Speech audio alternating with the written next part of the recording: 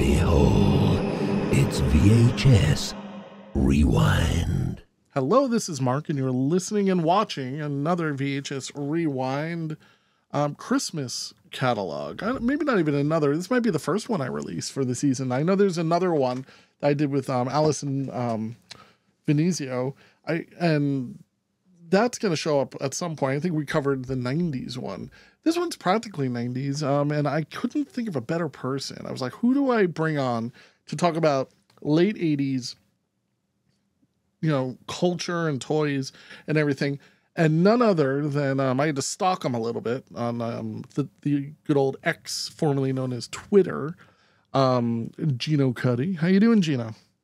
Doing pretty well, Mark. How are you? I'm doing great. I'm coughing my way through life in this holiday season, and I'm going to try my best not to cough in everyone's ear. Um, Geno, I know you've been busy for a really long time. You and I kind of, um, you know, we're like, I'm going to go do my thing, you do your thing, and somehow we ended up kind of meeting here in the middle. Um, just I couldn't be happier to have you back on the show. And I'm really happy to be back. Um, you know what? One of the things that you pop on every once in a while is the Oddity Archive. And I got to say, the Oddity Archive, if, if people don't know what the Oddity Archive is, would you agree that it's single handedly one of the most consistent and educational and entertaining and wonderful channel on all of YouTube? would you agree? Absolutely, absolutely. I mean, uh, Ben Minnotte, in the name of full disclosure, we are friends. But even if we weren't uh, attached in that manner, uh, his channel is, and, and his content is really, really well done and is really the only YouTube channel that I follow with any level of consistency because his content is always 100% quality.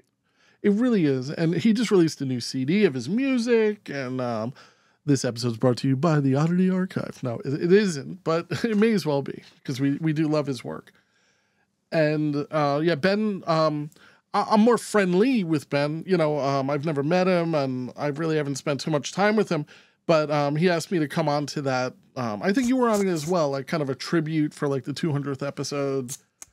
Correct. And, yeah. Um, yeah, I mean, I just think what he does is worthwhile, and people should definitely check out the Oddity Archive. I think he's a Patreon, is you know, too. So, you know what? Instead of going out and spending money on companies that hate you, go and throw some money at somebody who loves you, and Ben would love to have your money. So that's the way. I have to. You know what? I don't support Ben um, on the Oddity Archive. I think I'm going to have to visit Patreon.com and go check it out because um, I really do get a lot for um, of value from his channel. But if it's one of those things, if uh, if people are listening and they can, um, you know, and they have a few extra bucks, not everyone has a few extra bucks. Uh, word of mouth is also very valuable. Another service I want to thank out there is called wishbookweb.com. I don't know if they're still around. They could be a porn site for all I know. They they supplied these books that we're going to be going through these catalogs. And this really um it's really a labor of love, right? I mean, to scan all of this stuff, it, it's a tremendous undertaking. Indeed, um, indeed, and and I thank them as well for uh, the service that they provided that allowed us to do this today. Yeah, absolutely, man. Um, we're talking about the um, the 1988 Christmas Wish Book. Now, you're younger than me, considerably younger. But do you remember there being annual catalogs? I don't know. Was this something that existed when you were little? Um, I can't say that I recall, but they probably were. I mean, I was born in 1995, and so they they there probably were still some uh, some semblance of these things out there. It, it, it's probably they were winding down at this time, but I just can't recall. I, I recall more or less the Toys R Us books than I do yeah. the Sears ones. Um, the Toys R Us ones stuck around for a while. Um, Sears, um, I mean, they were all really focused towards Christmas this time of the year. And when I was a kid, you would get this, you'd circle what you want, and you really have a blast going through this. And it was a tremendous book. Um, this this particular one is 674 pages. Um, I hope you have your pee jug because we're not getting up for the next six hours. I'm just kidding. um, you're like, are you serious? so I'm just gonna flip through this, but yeah, this is Sears, which um, I don't believe Sears is around anymore. It's kind of a sad thing. It it is, but it's pretty much in purgatory or as close to death's door as you can be without actually being there. And a lot of that, not to get too political here, but a lot of that is due to uh, Eddie Lampert, who really drove Sears into the ground.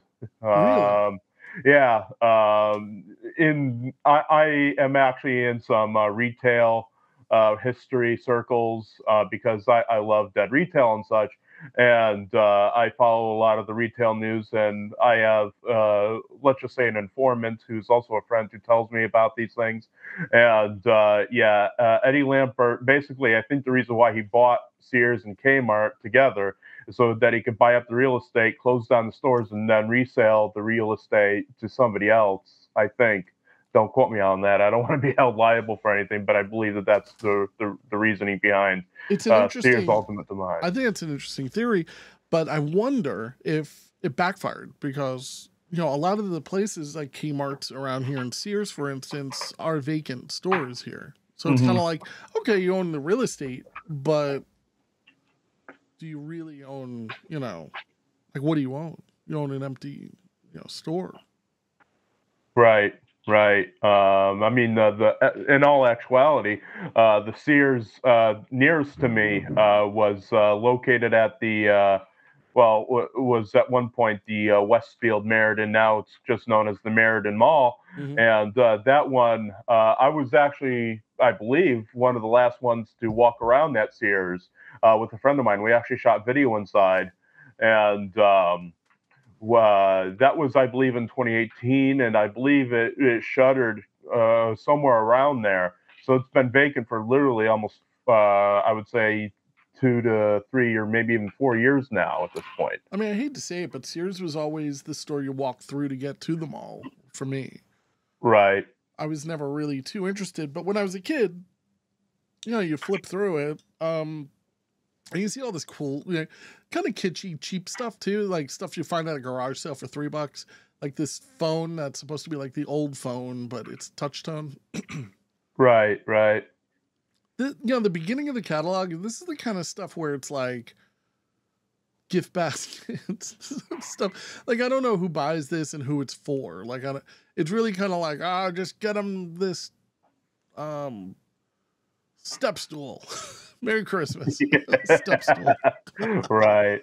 Right. Um, now we get into the sexy part of this. We get this lady in um basically a I don't know a, a mitt. Like this thing looks it does look like an oven mitt. yeah, you're it looks like an oven mitt or that same kind of material. Um, so we're gonna flip through a lot of this kind of cornier stuff. Woohoo! You got a little negligee here. There's a lot of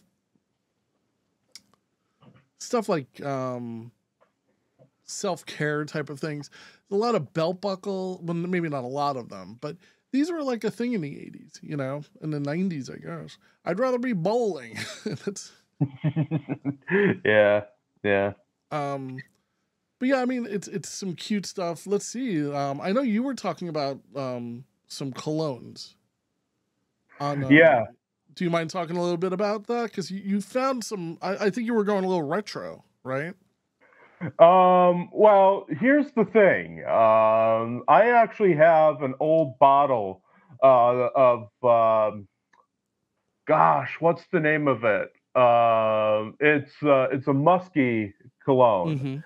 and it actually belonged to my father. Oh, okay. Uh, it was one of the last bottles of cologne that he had before he passed on. Right. Um, so uh, yeah, I have that, um, and I am a bit of a cologne connoisseur uh, in that, but mostly on a budget. So primarily my allegiances is to like the Bath and Body Workses of the world, um, and I collect quite a lot of colognes from there. Probably my favorite uh, uh, cologne for this time of year would be a uh, cologne by the name of Smoked Old Fashioned, which is uh, supposed to be patterned off of uh, uh, an old fashioned drink.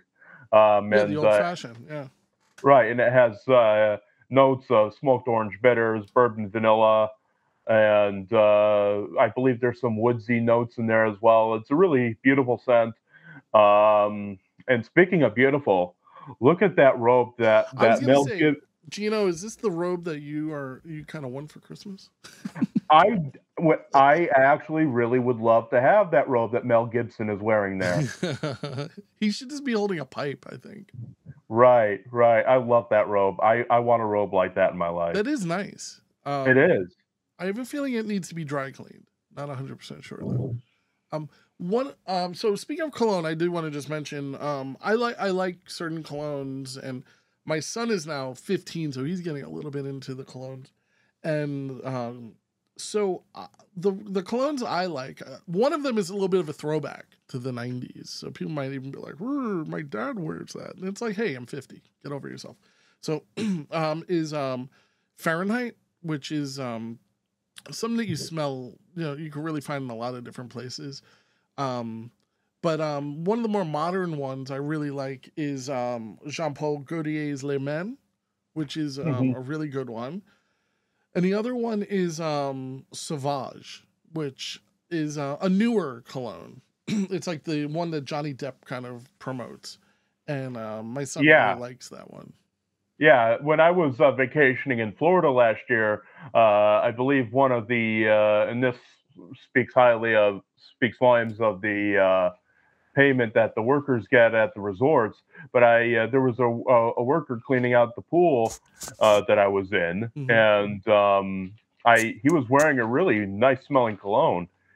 And he told me that he was wearing Sauvage, so I could attest to that. That is a very beautifully, sm- a beautiful smelling uh, cologne. I don't know what the notes are in it, but it's a beautiful, beautiful fragrance.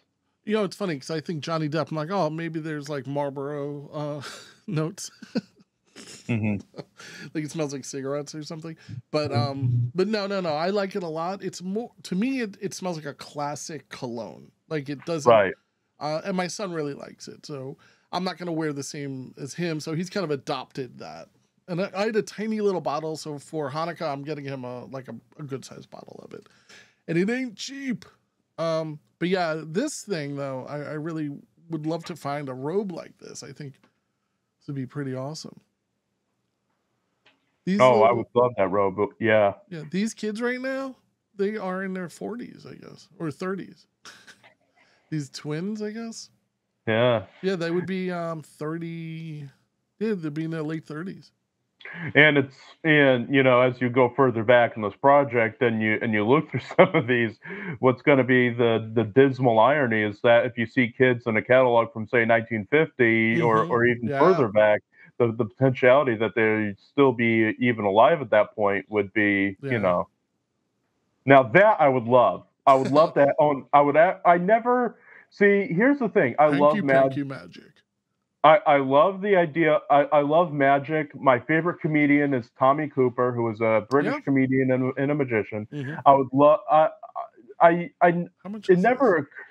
Yeah, it never occurred to me to get into it when I was a little kid. But I would love to own a magic set like that and perfect the tricks. You know, when I was little, I liked this stuff and I tried it. I was not good at it. I'm still not good at it. Um, one time I was in Vegas and I, um, I, I went to one of these like kind of secondhand shops, you know, like um, like a hawk shop, whatever you call. It. So I go in there and I'm looking at all the stuff that people have sold, these guitars and all this kind of stuff. And this guy Mhm. had an entire volume of like the magician's thing. It was like 100 years old and it was like every trick that you can imagine. I'm like, this is amazing. And yeah, I was talked out of it. And uh, for good reason because my, as you know, I love it, but I'm not good at it. this kid, he would probably blow me away. Like we were watching him and be like, you know, pulling a coin out of my ear and be like, how'd you do that? Right. That is my it- card. how'd you put how'd you put the cigarette through the coin? Yeah. Look- Sorry. Killer pin, killer pinball machine over there in the corner too. By the way. What did you think of these little pinball machines when you were a kid? Did you ever see these things? Um, again, I think that they were phasing stuff like that out uh, by the time I, I was a kid, and it, and also, you know, they got to point to the fact that I was really an introvert and I stayed indoors most of the time as a child. Unfortunately, I would have Mhm. loved to have gone out and actually experienced life. Um, but I, I, I will say that I have come across some of those, and they are great and they are addictive. I I never got into I never got into pinball. You know, Mm. pinball is just one of those kind of games where um I I see the enjoyment, right? And it was also one of the first games that I thought looked pretty good on a video game system. So I, for some reason, if you even Atari, go back to the 2600, th- it looks okay with the pinball machine, the movement of the ball and everything. But I don't know. I never got into pinball. I never got into these things. I never really had one um, that was like this. Um, well, I also had experience with uh, since I was. I, I wouldn't say because I didn't get internet until like 2012, so I was really a late convert to internet in general. Uh, but as somebody who had computers that growing up that uh, I mainly did gaming on, I was really familiar with the 3D space pinball, and I really enjoyed that. Mm-hmm. Minesweeper and Oh yeah, Minesweeper, yeah, badass. Um, these things, I feel like you can go into like a Goodwill and find these these cassette Yeah. rock and roll mixes, usually low quality mixes on low quality tape. Look at this guy. This is the other guy just grown up. right, right. Balloon magic. Yeah. Balloon man. I'm a balloon man. I know somebody who went to Harvard and she now makes a living doing um, balloon animals, like being hired to do balloon stuff. And I, I always wondered how this happened, right? You you went to Harvard, right? yeah, but uh, you know, and not to insult your friend, but no, no, know, I'm yeah. not. Uh, she's a lovely girl. It's just the hell happened here? you know? Right, right. Yeah. So um it's kind of interesting. Reminds me of old Little Lulu and Little Audrey cartoons, where uh, the person uh, would go into college and come out with their degree and their uh, cap, and then uh, be immediately thrust into the world of street sweeping. um is this safe? Yeah, look at this. Wait, let's uh where's the it might be on the next page. I'm, loo- I'm looking for the price on this. I'm sorry. I got E. I don't have F. oh, there it is. So yeah, this is a 70 pound safe. It's $130. It's pretty Wow. big, right? Look at this. It's like a big end table. Yeah, that's that's a beautiful uh, little item there. Yeah. I, I want to, you know, again, a beautiful thing for the home. But what I would like is that clock immediately to the right. Yeah, the the nautical uh, clock. Yeah, I, I, I've always, I mean, I haven't been board ship a lot in my life, but I've always sort of had a fancy for, you know, that aesthetic of the nautical aesthetic. So, Sure. you know, you know, especially being a fan of Popeye, all, you know, all my life, you know, and uh, so I, I would love to have a clock like that. Um, you know, in I, I think I told you my son is doing Sea Scouts now. He's become very nautical. Um, I'm not nautical. I, I appreciate the look, but I, I'm not a nautical person. Um, so like I can barely swim. And we um he he's really into this now where he kind of meets up with his um with his I think it's called a boat, boat 18. Um they have this history of bootlegging and everything in the area, which is just phenomenal. You know, like going back to like the 20s and 30s and like underground tunnels on Long Island and all of this like really Right. really dark history, which I I you know maybe it's questionable that I think that that's the exciting stuff, but like bootleggers and brothels and all this kind of stuff, it's kind of crazy. This So- stuff. oh, I'm sorry, go on. So what are you saying, Mark? You're you're not you're not nautical, but nice. I, I'm what I'm saying is that I um I encourage bad behavior. um so over here, this have you ever been to a cracker barrel? uh, no, I have not. Do you know what they are? Like like it's Yeah, it's a it's a restaurant of some sort. but it's like kitschy. And on the wall Right. they have stuff like this everywhere.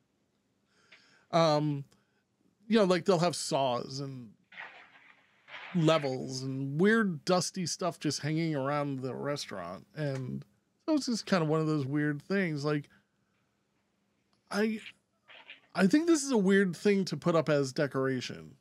Right, right. Um, now here for basically you and me, I would say I'm gonna just kind of throw it out there. As a kid, I would go to my local library and I would take out tapes of uh, old time radio shows. You know, I would listen to Suspense and um, old comedy albums and you know all of this stuff that people are like your kid's 11 years old or 9 years old and he's listening to you know Jack Benny you know? And it's what I liked you know? And um, if there's one thing that I think people can agree is that um, I've done things that I like that other people don't like. And I think maybe that's one of the reasons why you and I have remained friends because both of us see the world like that we do things not because other people like it or what other people's opinions of it might be, but because we genuinely like them. Right. I mean, I love old time uh, comedy as well. I've uh, actually, through my work with Ralph Celentano of uh, Film Collectors, collected film for over 60 plus years, I've become rather immersed in, into the world of old comedy from uh, that time period and uh, become kind of a connoisseur of it. Mm-hmm. And I quite in, enjoy quite a bit. I mean, I, I, was a fan of the Marx Brothers since I was a seven year old kid. But I, I, you know, within the past decade, I've really immersed myself with the classic comedy and really enjoy it. I mean, as far as radio comedy is concerned, my probably my favorite would be the old Lum and Abner radio program. And I want to give a shout out to my friend Donnie Pitchford, who is an old time radio historian, in particular, a Lum and Abner historian who I had on my television program, Geno in the Evening. And, hey, uh, and uh, do, do, you he, know if he has a website or I mean that that was where I kind of wanted to lead this because Geno, you do a lot of work, a lot of right. a lot of um maybe similar stuff that I do, thankless work. You know, we we do we preserve because we love, right? And right. you preserve stuff like there's no tomorrow. Like you you were just converting some um, Christmas videotape that you discovered. Um, you do restorations of silent films. You've done a tremendous amount of work with the film Metropolis, which of course everyone knows. Um, could you go down? Could you give us like a little bit of an overcap of what you do? Um, and where people can find you. Because I, I, think just like the Oddity Archive, I think Geno Cuddy is somebody who people should be subscribed to personally. Thank you for, uh, for the kind words, Mark. And this uh, episode's certainly. brought to you by Geno Cuddy. um, Sorry. Yeah, as, as far as you know, the things that I do, uh, there's quite a bit that I do. Um, I uh, probably my bread and butter. Uh, I, there are two things right now that I'm uh, doing that are pretty much my bread and butter. And, and uh, numero uno on that list is uh, preserving the film collection of Ralph Celentano. And uh, just a bit about Ralph. He is uh, a nice gentleman from um, uh, the Massachusetts area who's been collecting film for well over 60 plus years. Mm-hmm. And uh, he specializes in old time comedies. And uh, I've been uh, preserving and archiving his collection and online on my YouTube channel, Geno's House of Rare Films. And uh, for since 2019, I've been doing this work. Actually, I think 2018 is when I started, and uh, I've uh, been preserving. You know, I, I preserved like the work of comedians Clark and McCullough, for example, mm-hmm. um, and uh, Tim Bergen Rooney, uh, Moran and Mack, com- comedy teams that are largely forgotten about in uh, this day and age, but were wildly popular back in the 1930s. Um, Pre-code type uh, of stuff, right? Correct, correct. And uh, you know, through this endeavor, I've actually been contacted through other uh, by other people. Like uh, there was a gentleman by the name of Ray Cabana, who's a mystery film and crime fiction connoisseur. And uh, through him, I preserved a film called The Lineup from 1929, uh, which was pre, which had previously been unseen for over 90 plus years. And uh, so I preserved that. And I am currently in talks with a gentleman by the name of Kerrigan Mahan, uh, who uh, a lot of people would recognize as a voiceover artist for a lot of anime, and he was also Goldar in the Mighty Morphin Power Rangers. Well, his dad was a gentleman by the name of Billy Mahan, and uh, he was the little boy in what was called the Jones Family series of comedies uh, made at 20th Century Fox back in the 1930s. Mhm. And I'm in talks uh, of getting uh, a series of uh, films from him starring his dad to hopefully preserve on my YouTube channel for future generations to see. Geno, I just Uh, want to interrupt you for just one moment.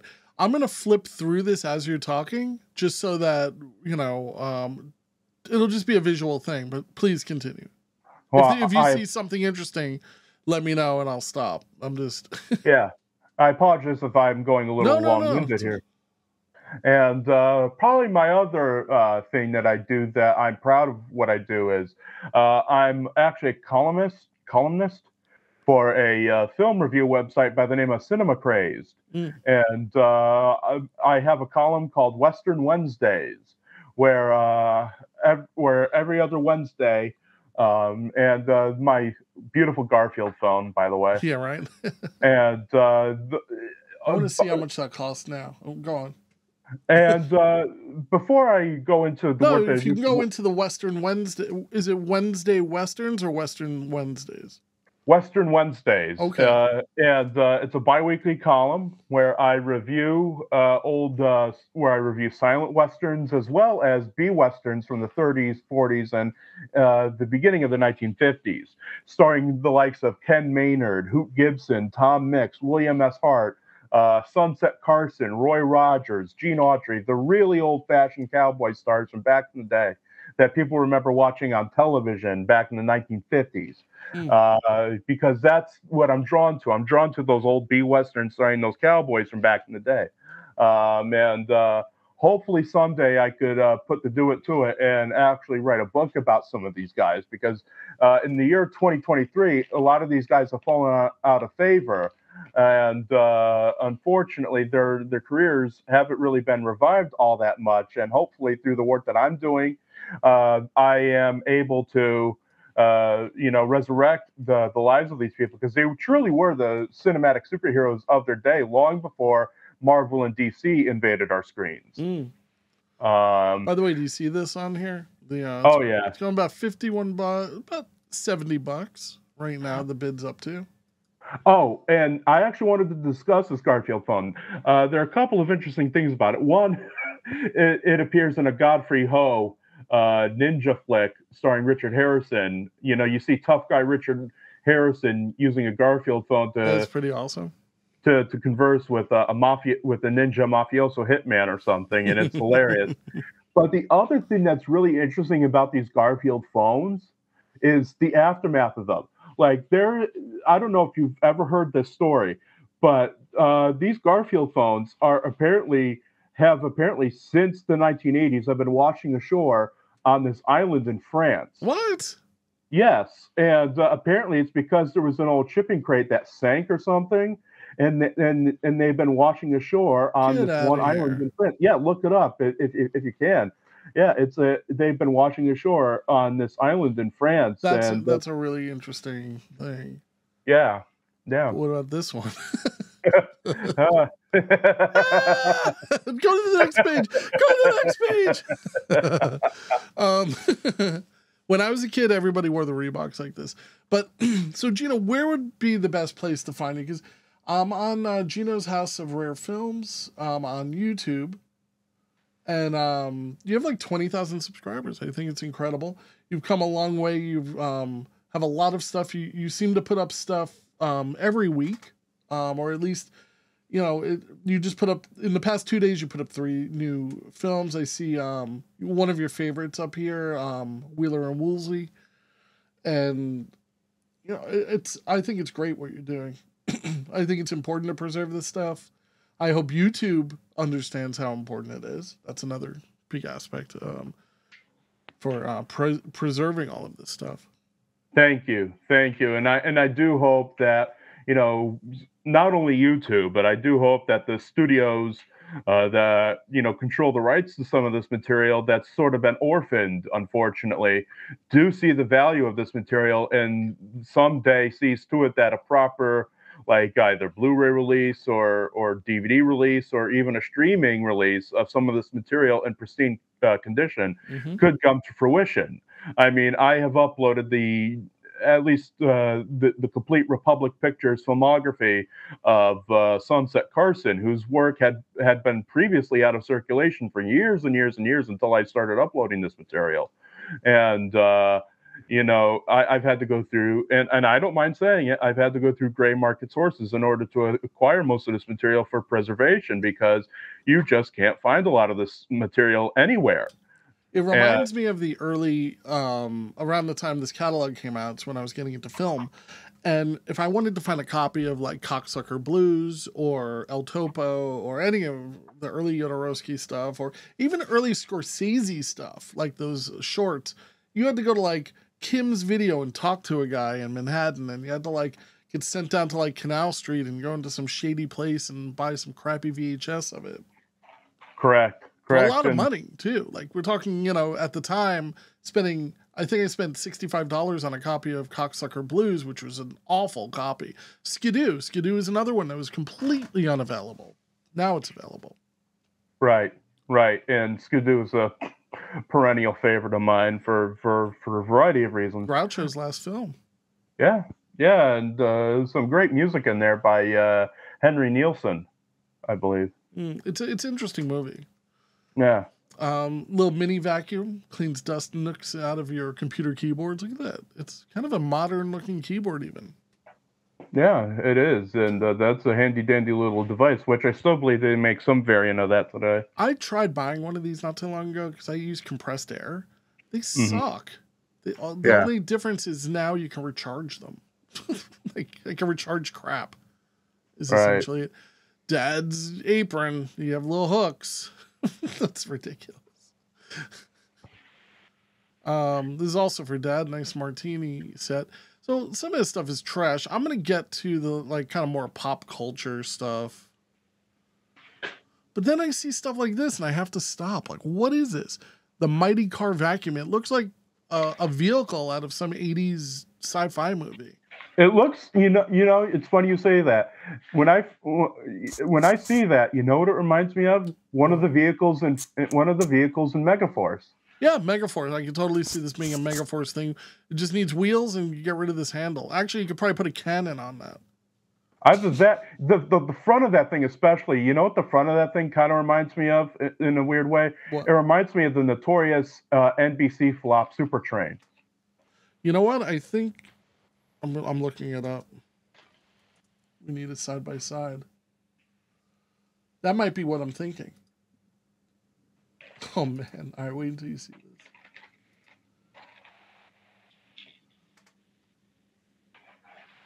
Found it on my on me TV. I'll bring it over to the screen. Yeah, look at that.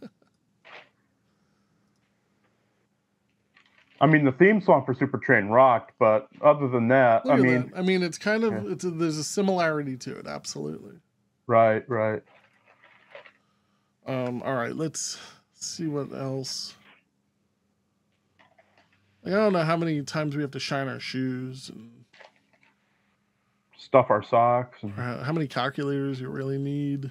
Hand puppets. These hand puppets, jeez. All right, let's. This is all. Hey, what? What? Well, there was a nice keyboard up there. This I one. like keyboards. I'm a sucker for keyboards. You know, I went to a garage sale not too long ago. And, yeah. Um, I don't have it in front of me. It's downstairs. And I said, How much is this keyboard? It was like a pretty nice size old 80s Casio one.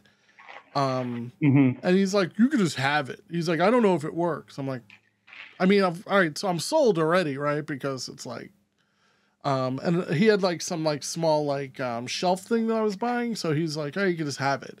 And I'm like, Why do you, I mean, I think it's really nice that he would do that, but it's like, if it doesn't work, but I came home, I put batteries in it, it worked for 10 minutes and then it stopped working. So uh, I got to open it up and see what's up because it's a pretty cool looking keyboard. Um, I'm pretty is. lucky in garage sales. Um, I picked, yeah. you know what I picked up? A really, do you go to garage sales? Are you a garage sale junkie like me? Um, uh, not as much as I'd like to. I mean, I used to be a a, a, a thrift hound.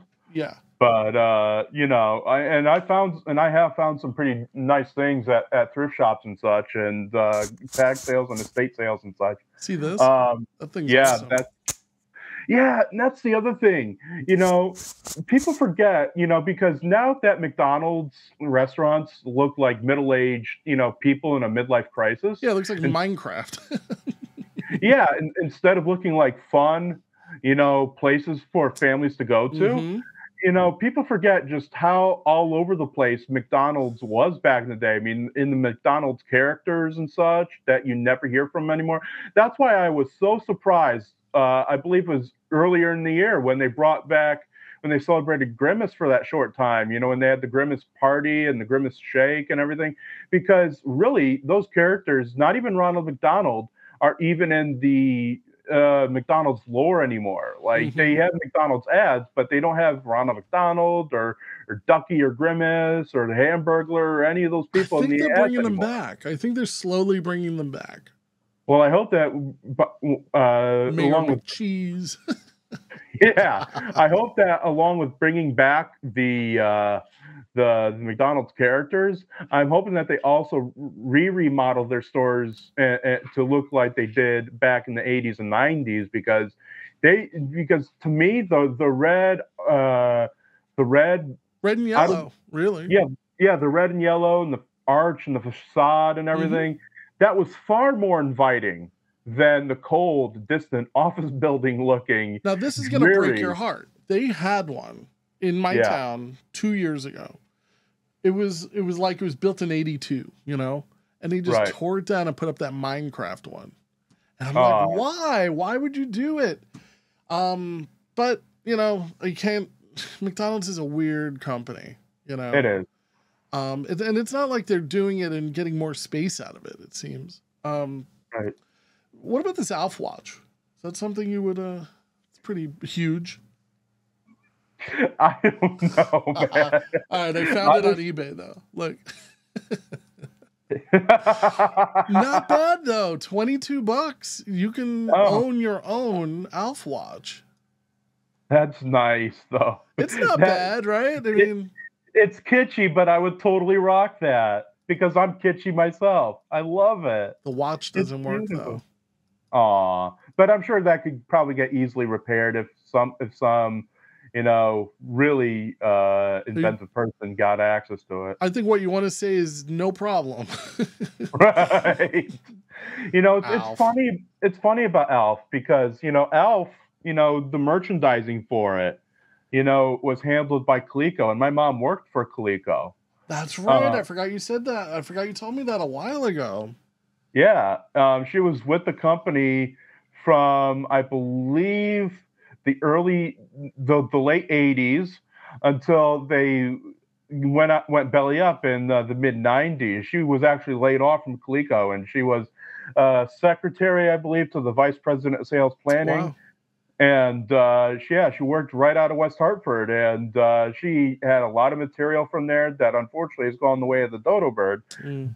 you know, they had Alf, they had Wrinkles dogs, which you don't even see anymore. They had Ride-ons. I mean, they were far more than just the Oh video yeah, game Coleco, company. huge, huge, huge Right. company, especially in the '80s and '90s. Right, right. And Alf was one of the products that they carried, uh, uh, along with the Cabbage Patch dolls, which were wildly popular in the 1980s. If anything, I would say that the Cabbage Patch Kids built Coleco. I mean, we had the ColecoVision beforehand. Right, right. Um, and Coleco, I think, was a boys' toy brand before Cabbage Patch. I want Right. to say, you know, like kind of tanks and trucks and stuff like that. You gonna, um, these are cute, I guess. I was never much of a Sesame Street fan as a kid. I like Snoopy. You know, you know where Snoopy is huge. Um, I just learned this from uh, Lydia Kikuchi, who is a Japanese woman who lives in Australia, but she she and she'll visit Japan every once in a while, and she said Snoopy is huge in Japan, huge, and it makes Really? sense. It kind of makes sense. I see it. There's a certain Hello Kitty vibe, I think, with Snoopy. Right, right. Snoopy. Um look at the McDonald's was a big thing, man. You could you could put a McDonald's raincoat on your kid and they can go to school and they're not going to get made fun of. You know, Right. it was Right. cool. It was a brand. Like this backpack, it's not bad, Yeah. especially since my name is Mark.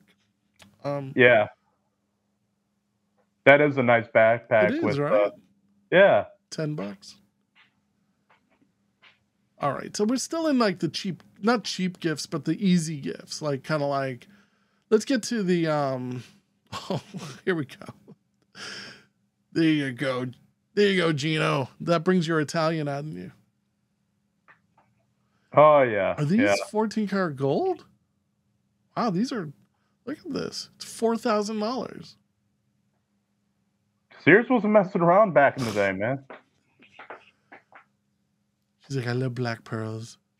All right, so I'm gonna blast through the jewelry. Do you want to see any of the jewelry? I mean, I could stop at the watches. Maybe that'll be kind of cute.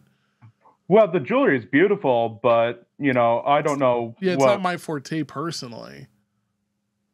Um, you get a lot of crosses. I don't know if the Jews have made it to this uh, catalog, or any other religion for that matter. Sterling silver. All stuff you'd probably see on Dynasty. Yeah, right. It's um. Well, actually, no. From Dynasty, would probably come from flipping Blooming Bloomingdale's. Yeah, or um so here, all right, we get some cute watches here. Look at this. It's like fake swatch. Watch it. Yeah. Um the California Whoa. raisins, they were really big in that period of time. Pepsi. I'd wear the Coke watch personally. Isn't it Yeah. a little bit weird though how a, a Mar- food brand Right. made its way into pop culture? And is it that way now? I'm wondering. Uh, I'm trying to think of an example. Well, Coke, you know, for for example, you know, I mean, they, uh, I don't know if they originated it, but they were largely responsible for a lot of the Santa Claus mythos Sure. that we have today. You know, Yeah. and uh, it's uh, interesting to, to to look at that and see like all the Coke paraphernalia that's been sold throughout the years. It's really, really fascinating stuff. You know. I mean, there are people who probably don't even drink the stuff now who just rapidly uh, collect this material. Yeah. But what about a Q*bert game watch? Oh, those are cool. Those are Those real are cool. pretty cool. I think I had one. I don't remember the game. They didn't last long. Like these are game. These are watches that I would treat like crap. Probably I would get them maybe when I was too young, so spoiled. But here we go. Vintage Q*bert on eBay, hundred and fifty dollars. Holy Toledo. Right? That seems a little excessive. Uh, you know what? Good luck to them. Look at this. There's another one down here. Scramble. But I don't know. I mean, I wish them luck. Yeah. It's like those people that think that Black Diamond Disney tapes are worth a thousand bucks. Yeah. But you know what? You get one dummy.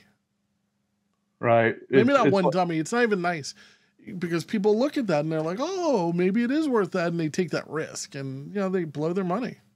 Right. 20 bucks though. If we knew, Gino, we could have gone back in time, bought like 10 up, pulled our money by 20. Right. Um, Pee Wee Herman watch, can't go wrong with that. Right.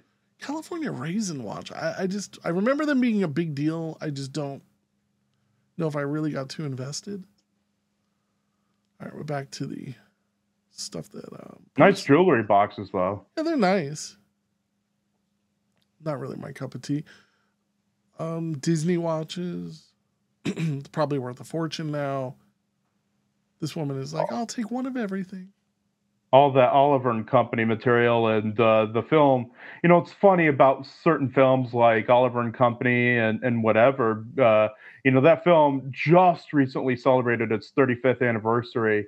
Oh, really? Um, yes, and uh, it's it's funny because you know they touted it big film when it came out, but now it's virtually forgotten about. It's like a lot of films, you know, from Disney's past. You know, it's like that film, The Black Cauldron, The Black Hole. A lot of mm. that stuff is just like virtually forgotten about, but was so massively merchandised and popular back in the day. You know, and films that I love. I love films like The Black Hole. you do like Eric- the black hole? I found it very difficult. Even as a kid, I found it to be a difficult movie, and it was. I know it's Disney's first live action movie. Or no, No. first live action sci-fi movie was it? I, I forget what it was. It Well, was- certainly was their first film No. to garner a PG rating. maybe that was it. Um, I could definitely see that uh, opinion. I could definitely see because there are parts of the film that are slow and they and they do dr- drone.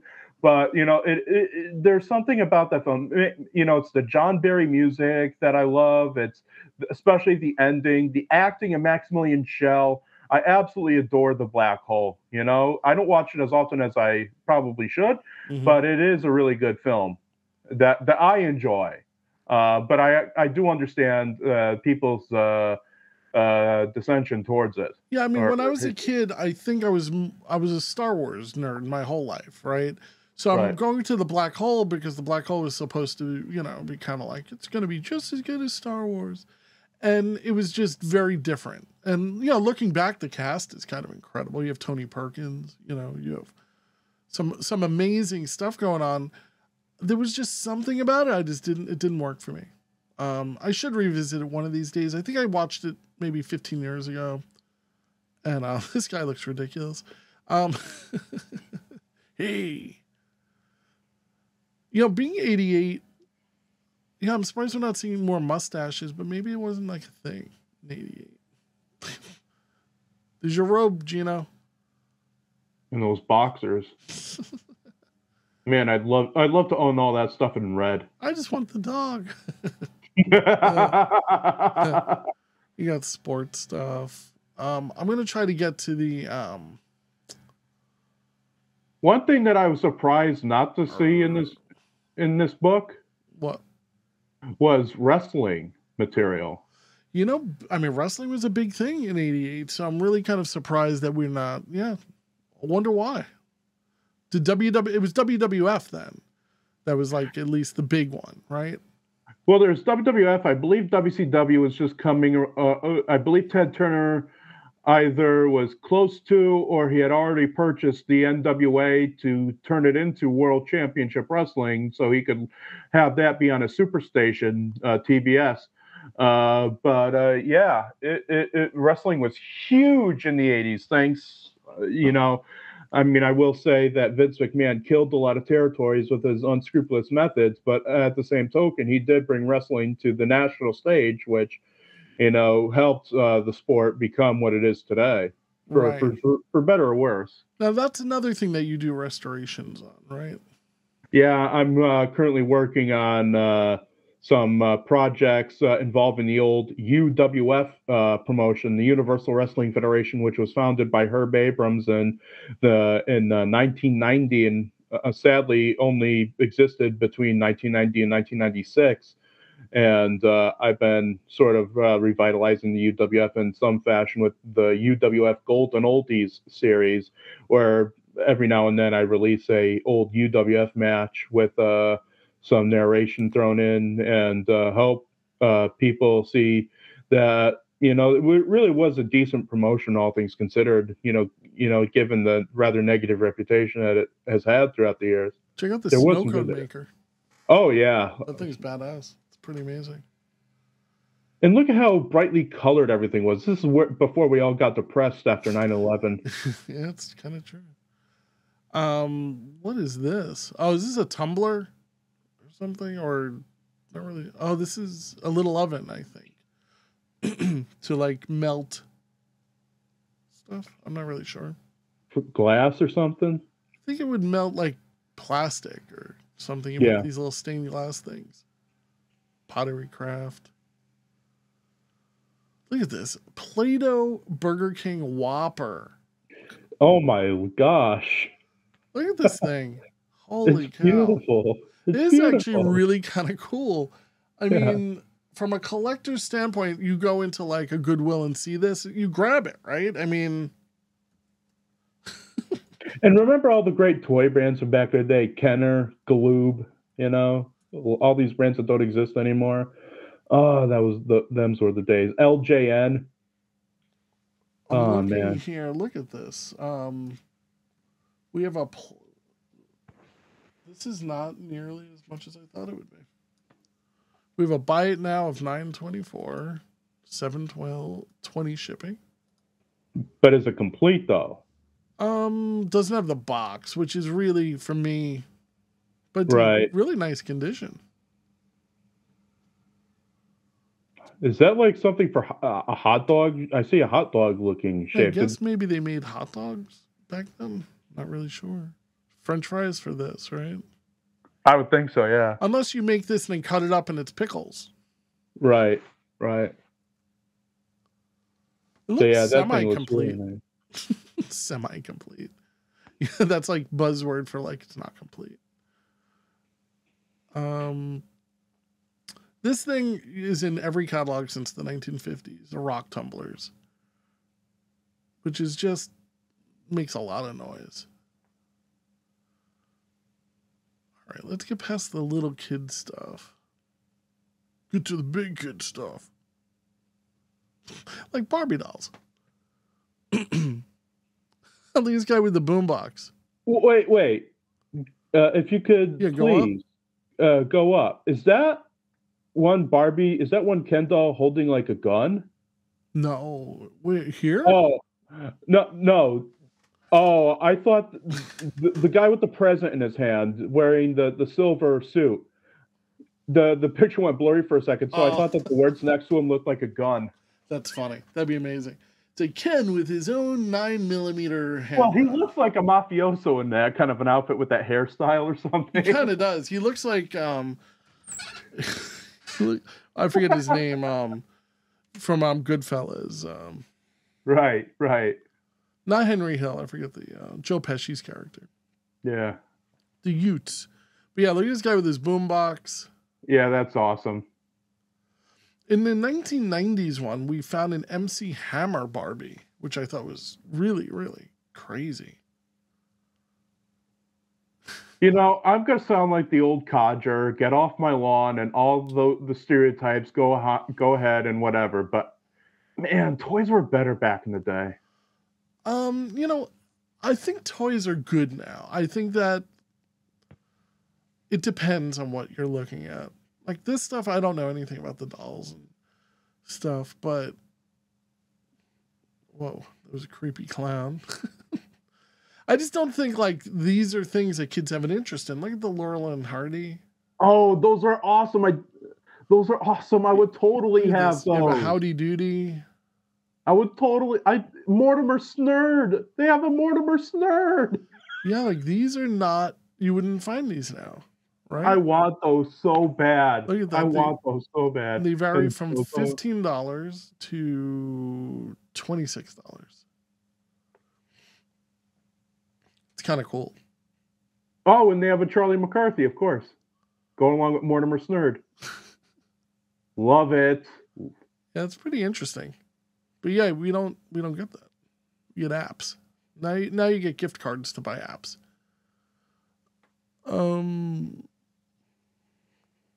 Come on, people. Get some weird looking Bert. Hello, I'm Pee Wee Herman and Chairry. Mm. this is something that was completely like a big deal. The Pee Wee Herman show. I don't know if that was on the air at that time.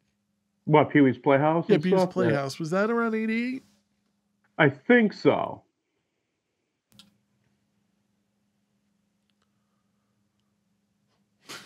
I, I they had this in the other catalog that I went through, and I have one of these in the box. Like it's like an engine that you build. I don't know where it came from. It's actually it might be my son's. He might have gotten it as a gift. It's like, what the hell am I gonna do with this? It's this huge box. Guess I'll re-gift it eventually. Telescopes that never really work. Um.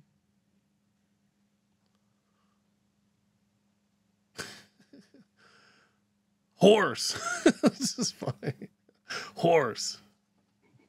Horse. That's all it does. You know that reminds me. What is that? Whoops. Did I lose you?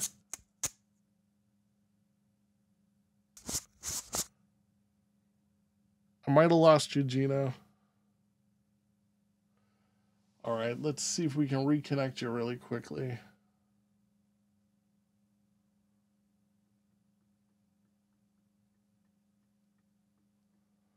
Having technical difficulties, people, but we're gonna fix it.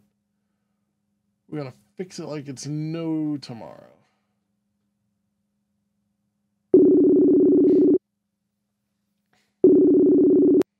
I don't know what happened. Sorry.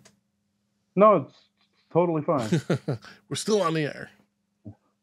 um, you know that was that toy up there the one with uh, the kids spelling horse? Was that the learn how to speak or something? Learn how to. Um, let's see. I'm gonna zoom in. If my touchpad. Oh, oh, my uh, my yeah, everything. dead. Everything's freaking out. I'm gonna fix it. Okay, Jeez, something happened. my apologies. No, I don't think it's you. For once. There we go. It should be back. yeah, it's it's it's back.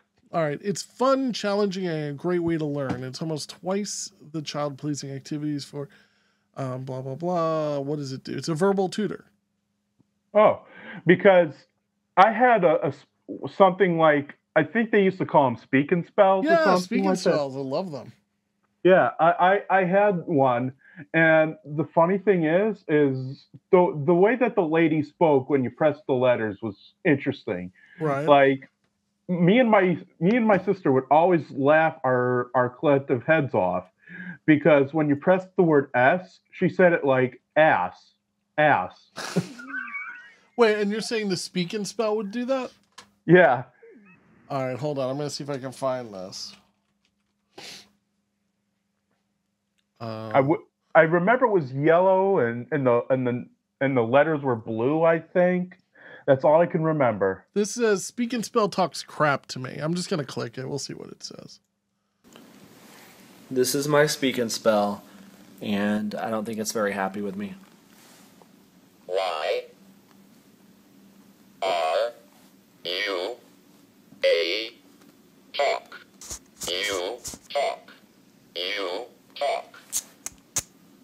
I think the guy's really uh, grasping for straws on that one. Um, Yeah. yeah, um, I can't find one where he's just pressing S, but it would be like S, right? right. But the way she said it was like ass. Oh my god, he said S! You know, I can see you and your sister freaking out about it. That's awesome. Yeah.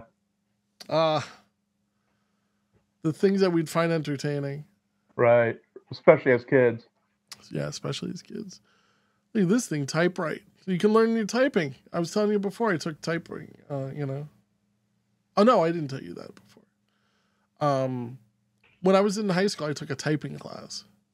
Yeah. I I I've also taken typing classes and and I still you know I don't type to. I, I can't type the way that pe- normal people type, but I do type pretty quick and Normal people, it's I, you type.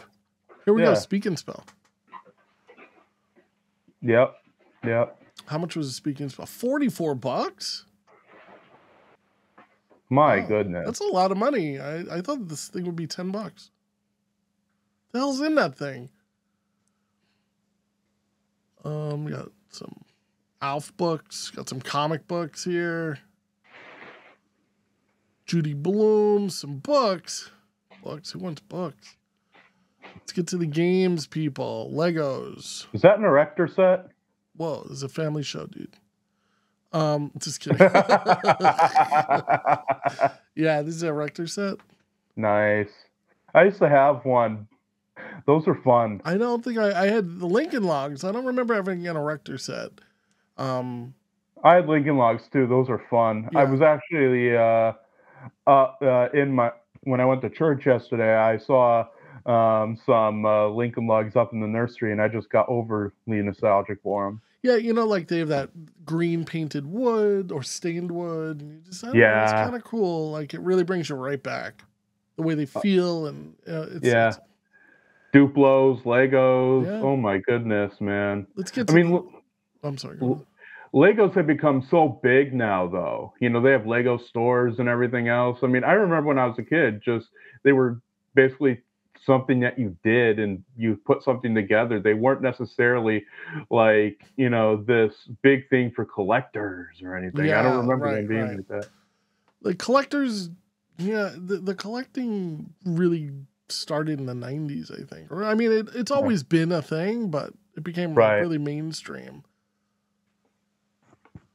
Um, some cool I'm a sucker for here. instruments. Yeah. Yeah, like Um, this stuff kind of looks cool. This guitar, which I don't know if that's a real guitar though. You can't really tell. It's probably not.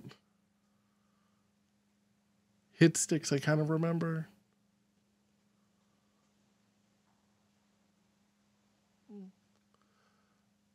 It's cool. Yeah, these little keyboards are kind of cute. the stuff like this. Here we go. There's some.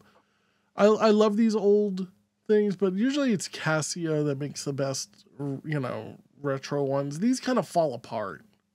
Yeah. Ah, there we go. This thing. You know this thing? Oh, is that the PXL 2000? Oh, those that was cool. That was like the that was the uh the Fisher Price camcorder that recorded video on audio cassettes. Yeah. Look, and Somehow, I guess they had a, a TV that came with it as well. huh? Yeah, if you want to see a great video, we mentioned out of the archive uh, earlier in the program. If you want to see a great video on the PXL 2000, uh, our friend Ben Minnotte did a wonderful video on the PXL 2000. So go look that up, people. You know. I wanted one of these. I, I really, I wish I bought one. I mean, of course, because they're worth a fortune now. But I mean, right. it's, yeah, I mean, they shoot like terrible quality, right? I mean, I think that's the Oh, yeah. But the the idea of shooting video on an audio tape is, I love the idea. Yeah. Yeah, that that is cool. Like I don't know how they devised that. Oh, look at that boombox. Yeah, this is a cute little thing, but I ho- I hope we're gonna get into like some more interesting boom boxes. You know, like this stuff is cute, but where's the real Walkman?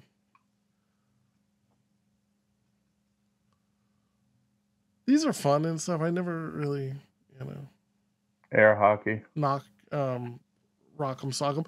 Now this is where you would normally find like a WWF, like well maybe later with action figures. Yeah, like Jakks Pacific and stuff like that. I don't think Jakks Pacific was even a business at this point. Right. Yeah. Board games. Board is right. Um, you better be quick or your opponent will punch your lights out. Can't even say that now. Upset everyone. These are kind of interesting. These Oh, the- games. Yeah, from Tiger Electronics. Are they Tiger? Are they? No, I know that they are now. I'm just wondering who made them back then. I, I bet you maybe it was. Doesn't say. I want to say it's Bandai.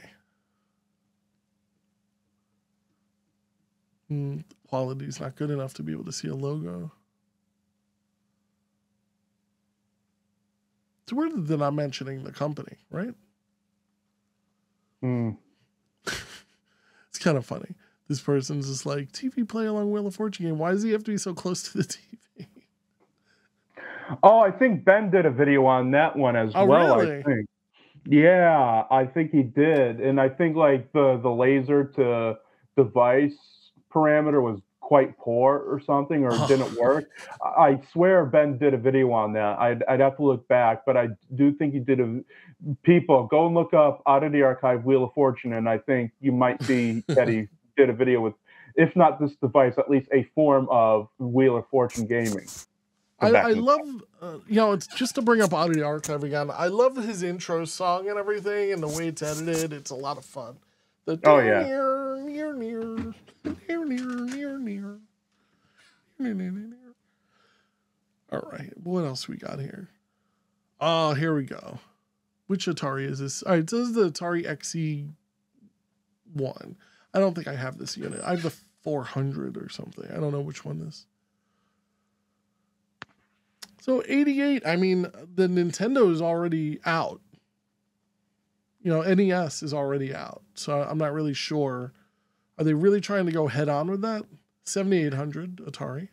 Yeah, I mean Atari at this point w- weren't they considered like passe? Yeah, I think they'd yeah, they'd redone the 2600. It was only 50 bucks. Nobody wanted that. Mario Brothers 2600. Look how the games, I mean $18 for a game for the Atari. It's very Yeah. Um, I had this. Um, I didn't have the Sega scope though. This 3D glasses thing. Although, um, I don't know. I don't know if. Yeah, I definitely didn't have it, but maybe I played it. The thing that was good about the Sega Master System is that what this is? Um, is there was a game built into it. Like so, you just kind of turn around and get this little puzzle game, kind of a little Easter egg. But look at the price of these games: fifty dollars for Afterburner. I mean, it's not so far off as to how much they are now. Right. I have Right. one of these, one of the um my original NES Advantage. Of course, Nintendo owned the world at this point. You Oh, know, yeah. In '88, it was a Nintendo that you wanted. Actually, and the Sega system was doing very well, so I'll say that.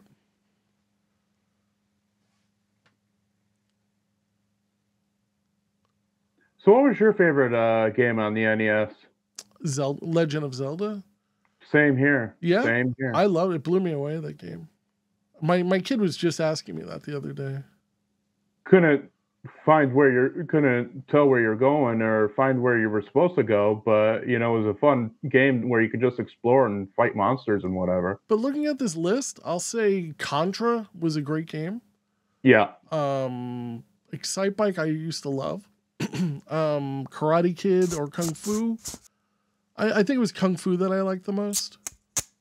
Mike Tyson's Punch Out was fun. I didn't get too far with it though. yeah a lot of people had difficulty with that one Here's tag team wrestling with no other, no, you know, company. sorry not available well why are you showing it then That's Zelda. Isn't that weird? That's strange. Sorry, not available. It's messed up.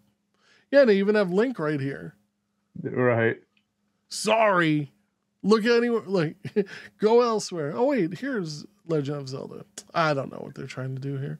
Look at this. This is like multiple pages of Nintendo games. another sorry not available Oh, yeah, what is that?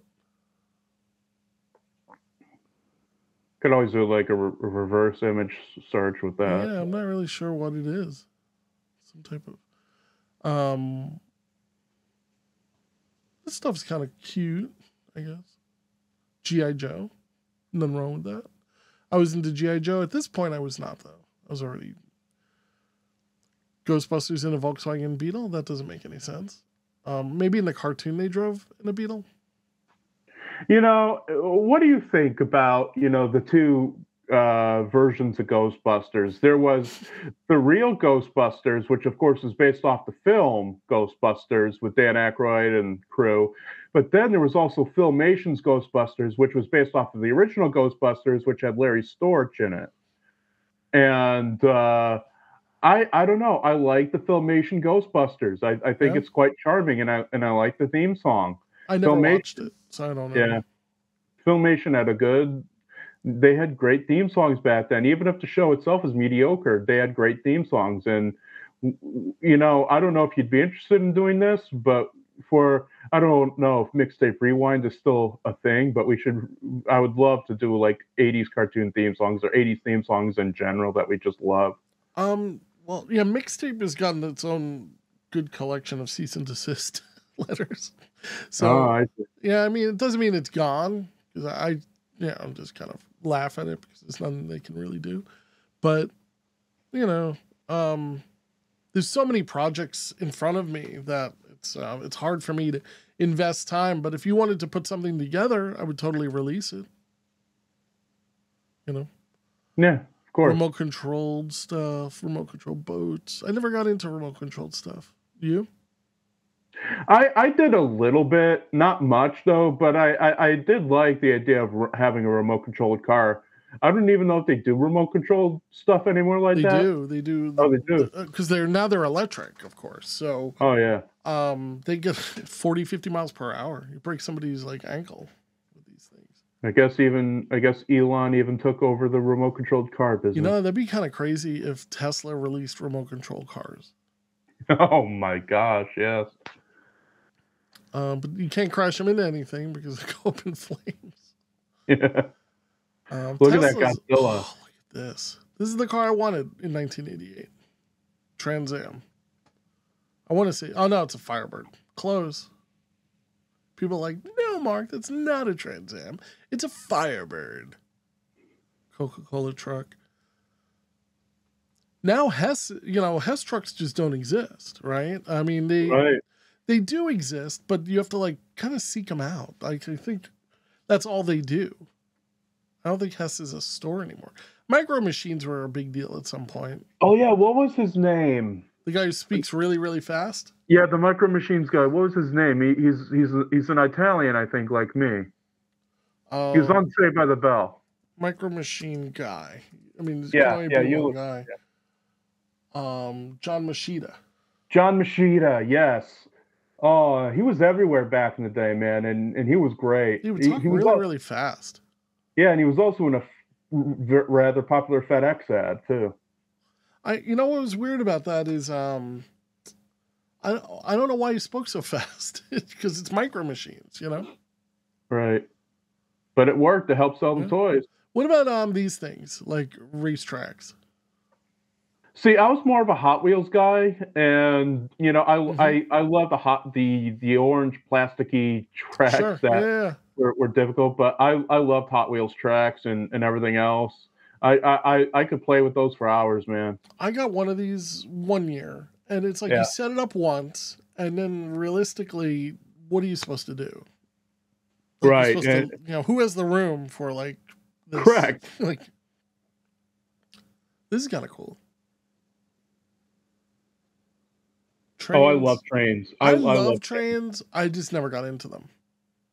I could see as an adult getting into them. I have still have my old train set somewhere in my bedroom. Is it an Um, electric one? Like what? What type of thing? Yeah, it, it's it's it's an it's like a remote controlled type deal. Right. And uh, you know, I, I don't think it was a Lionel because I don't think my parents could uh, uh, afford a Lionel track, but uh, but it was a neat little set, and I always enjoyed getting a train set every year for Christmas. It was it was a nice little tradition That's that we awesome. had going there for a while. Yeah, Look at this thing. Like who is the room? like what is exactly, exactly. That's like a Gomez Addams type uh, train right, right. That's so funny. That's exactly what that is. It's about the only person who would have the space as well. Yeah, and then he blows them up. Now this is actually incredible because I do a podcast called Dr. Quinn Medicine Woman. Um, well, actually, a podcast about Dr. Quinn Medicine Woman, and it happens Yeah. to take place in Colorado Springs. So I'm just gonna take a quick little screenshot of this and send it to my co-host Kelly. I think she'll get a little kick out of this.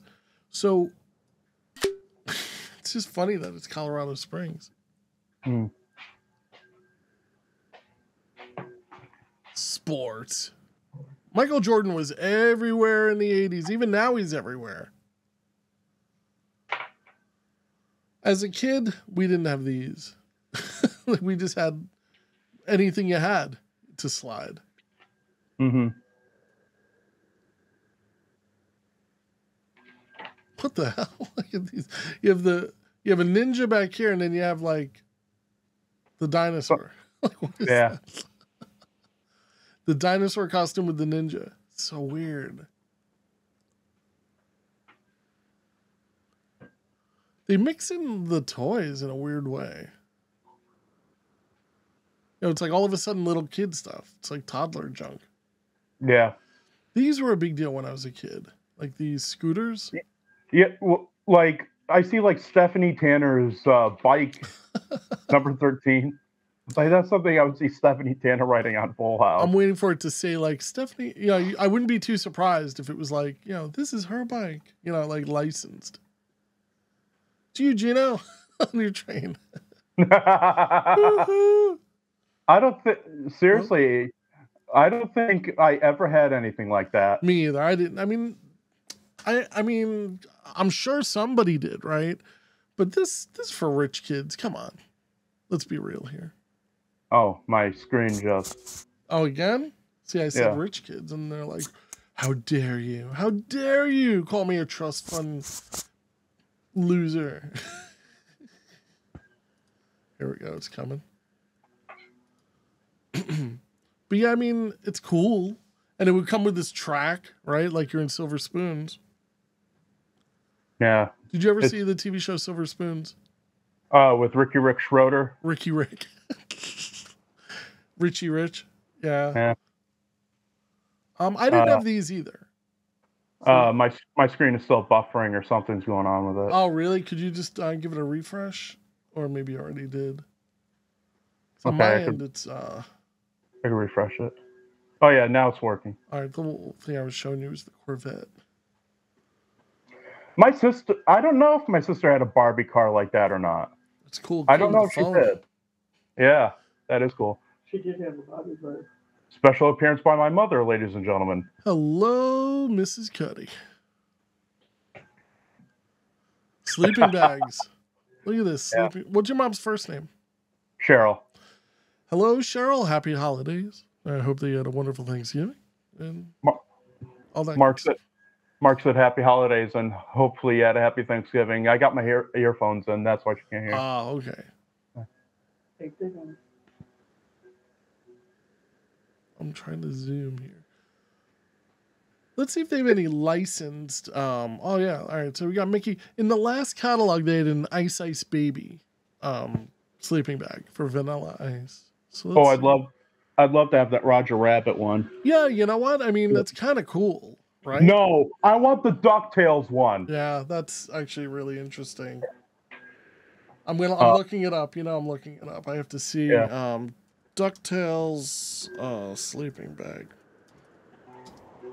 I don't know. Did I ever have a sleeping bag? I don't think I did. Because we never went camping, of course.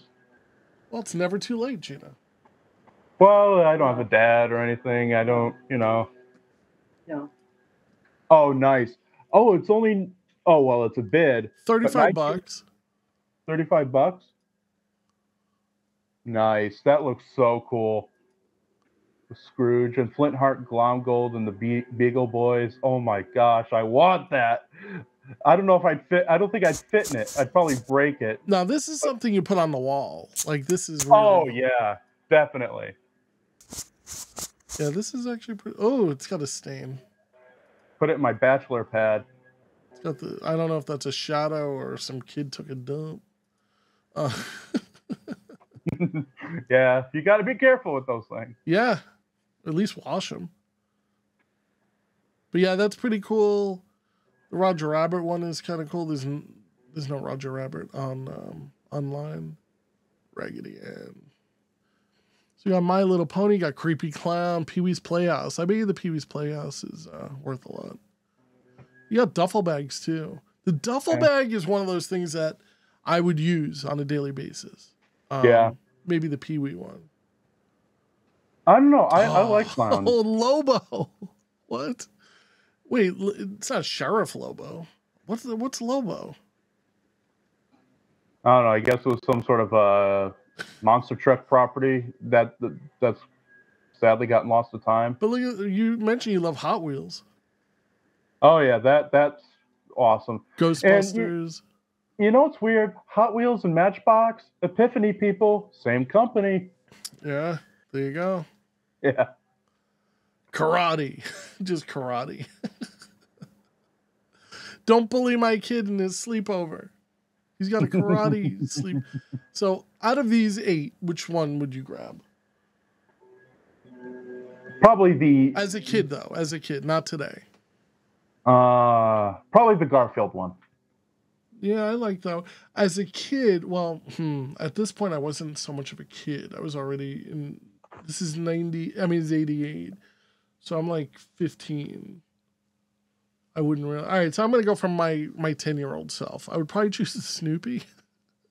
oh really? Yeah, or Superman. I was a big Superman fan, so I would probably go Superman. Yeah, I can see that.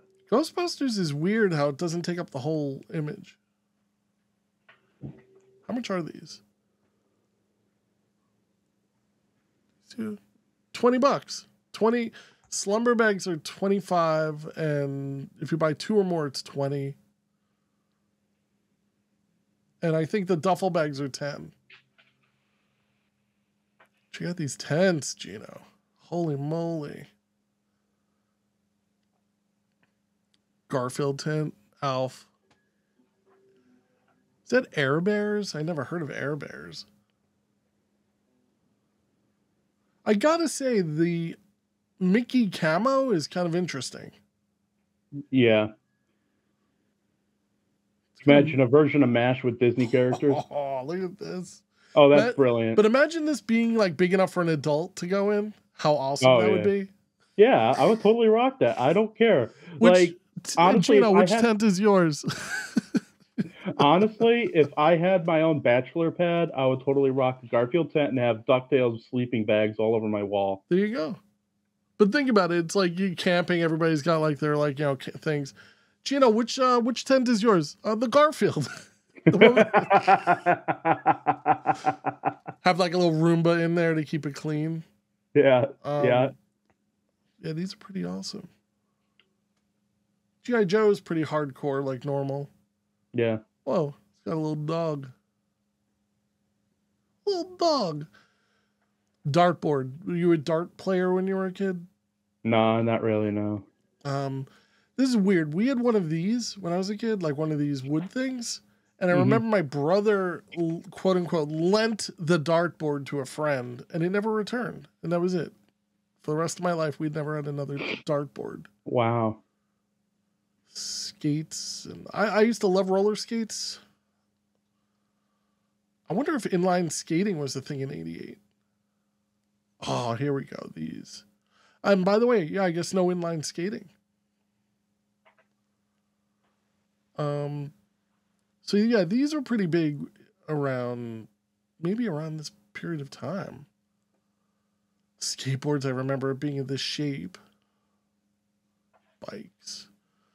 These are all garbage. Look how high. All right, by the way, like, see how high that stem is? Yeah. the thing's gonna bend.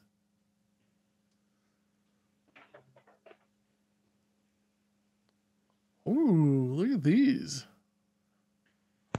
That's actually kind of cool. Get some Huffy uh, mags. It looks like a GT. The laid back seat. It's pretty cool. Bed sheets.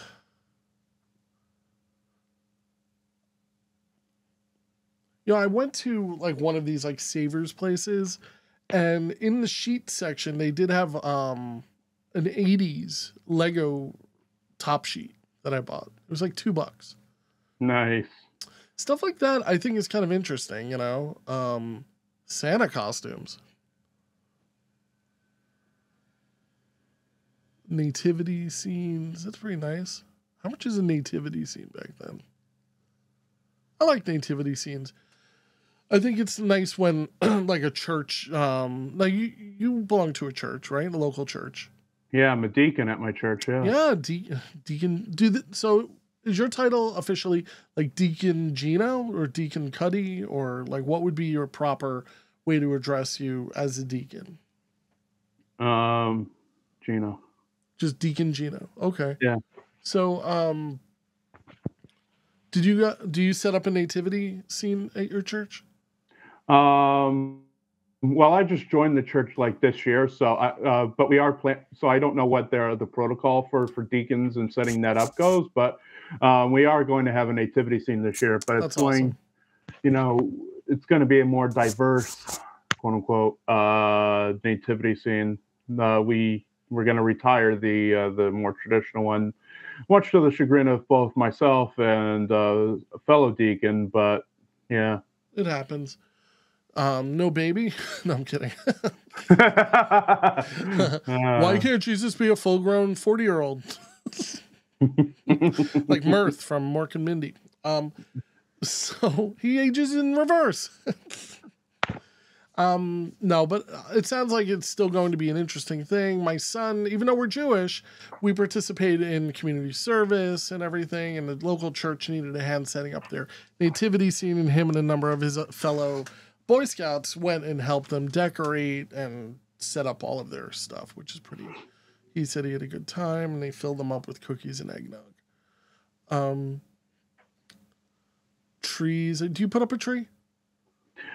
um, I'd like to. I just have to make room for it. Mm-hmm.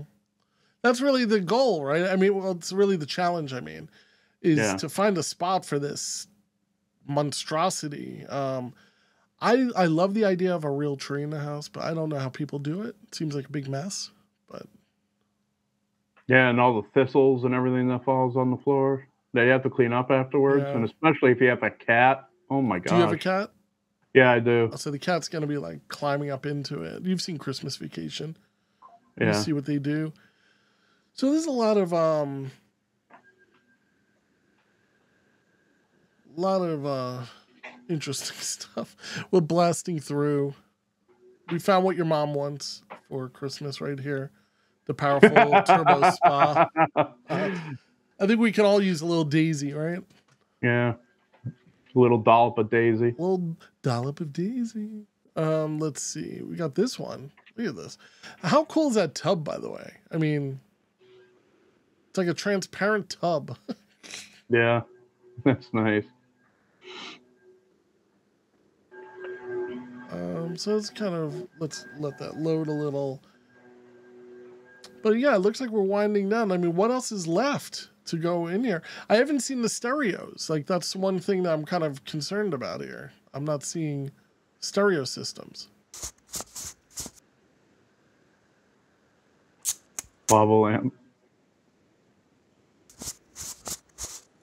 refrigerators, microwaves. Um, microwaves are like kind of um, pretty much a staple in the kitchen by this time.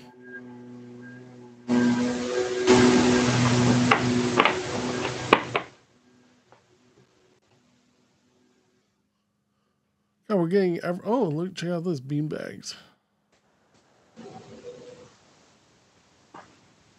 Oh, check out these beds. I never had one of these, but this. Look at this spaceship one. Oh yeah, that's awesome. that is awesome. I Right? nev- I wish I could have had something like that back Look in the at day. me too, but I mean that's kind of expensive. Six hundred dollars. Wow. I want one now. That's. Oops! Did I lose my mouse? Sort of. my touchpad just died on me. Stupid Apple. It won't shrink. All right, we're gonna do our best on this. Unbelievable. I think my batteries just died on my touchpad. All right. Oh, there it goes. Sort of for a second, then died. All right. It's better than nothing. Um swivel rocker chairs. There has to be stereos in here somewhere. I don't know anything about sports. I apologize if I'm passing anything like that kind of interests you with that. I just don't know. Whoa. What's all this? I would totally own one of those guns, man. Oh, it's a like replica. These are replicas. My kid is really into replicas right now. Yeah. And um like late 19th century um replicas and for Hanukkah one of the things I'm getting him is um I forget what it is. It's the gun that the Han Solo pistol is modeled after. But it's an exact replica. This thing is crazy. and It's not cheap either. These are BB guns. Did you have a BB gun as a kid? No, my mom didn't let us have anything like that. Mine either, but I had one. well, I- I, I tried to be a good boy, Mark. Good luck with that, Geno. I'm just kidding. Um, so let's see. We got billiards again. Enough. Enough of this. Let's get to the stereo. There must be stereo. If there's no stereos, I'm gonna put my hand through the screen.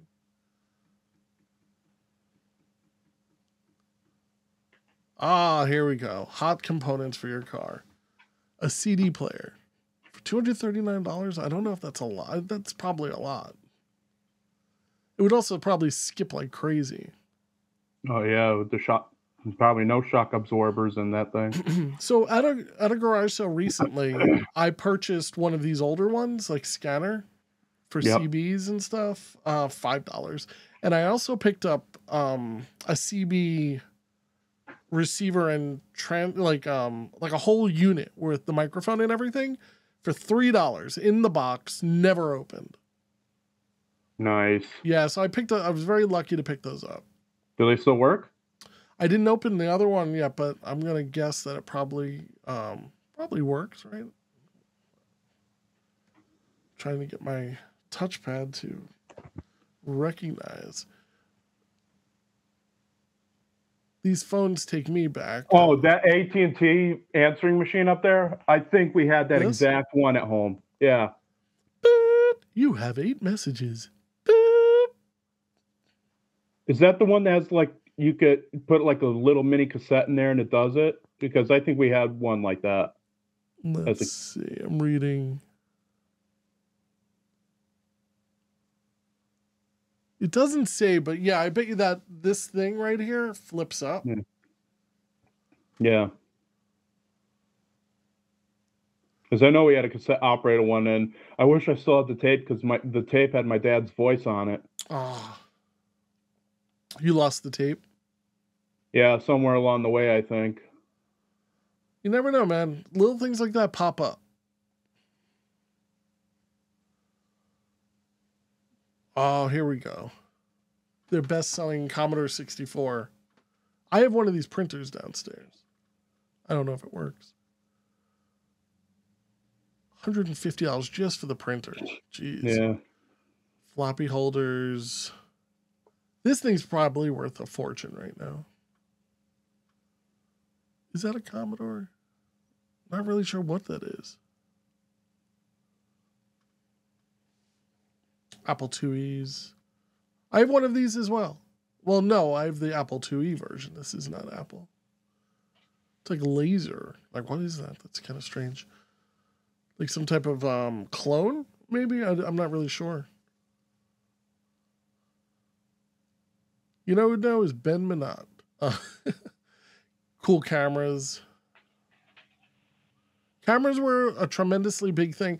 There's this new device that's kind of popping up, and it is basically a digital roll of film with um, it's like a device that you literally put into your old camera and it works just the way it turns your, your like analog camera into a digital camera so you take a picture and it has a sensor so it actually uses the lens to take the photo Do you think it would work in like a Polaroid instant? not Because I. instant no 'cause Oh, okay. that's just a whole different technology but for a 35 millimeter camera that's really what it's built for Because I still have my dad's old Polaroid camera in my room, and I'd love to be able to take pictures with that thing. yeah i don't think um although there is a company that makes polaroid film Oh, really? yeah How expensive is it though? i'm sure there's a premium but i don't think it's unobtainable Yeah. Oh, everything is freaking out. Oh, wait a minute. All right. Now we've gotten to, I, I almost skipped through probably the coolest thing here. So we, have, Nice. we have the Yamahas, which are great. This, I'm not going to lie, this is what it looks like that the guy gave me for free. But I can't say for sure because they, they all kind of have a similar look. Right, right. Um, I'd love to get a look at that. yeah. I'd love to get something like that that has like old '80s like synth on it. I'd love to get that. This is almost like a keytar thing. Oh, I'd love to have a guitar. Um, there's a music video. Uh, Trans-X is living on video, and the singer Pascal Languirand is seen with a beautiful looking guitar that I just love to own. You know, um, probably the coolest person I've ever seen play a guitar was Prince. and he had like a big, beautiful one, like that was like gold. Because, you know, it's Oh, Prince. man. It's Prince. Come Yeah. on. If you're going to do it, you're going to do it right. Um, this thing, have you ever seen this guitar thing? No, All right. I really want to get one of these. And even when I was a kid, I kind of wanted one. It's basically a digital guitar. Uh, it has plastic strings. It's a piece, I mean, it's a toy for the most part. But I Yeah. remember it just being one of these like really cool things. And I want to look it up right now. I'm just kind of really curious. I, oh, it's the PSR. Oh no, well no, it's a DG10. Yeah, these are going for a lot of money. I'm gonna bring it over here. I mean, yeah, right. But it's kind of it's like a synthesizer guitar. But it's I mean, I don't know. I don't know why I want one so bad, but not really sure what made it work or not work. But it was not popular. I remember when they were on discount because nobody was buying them, you know?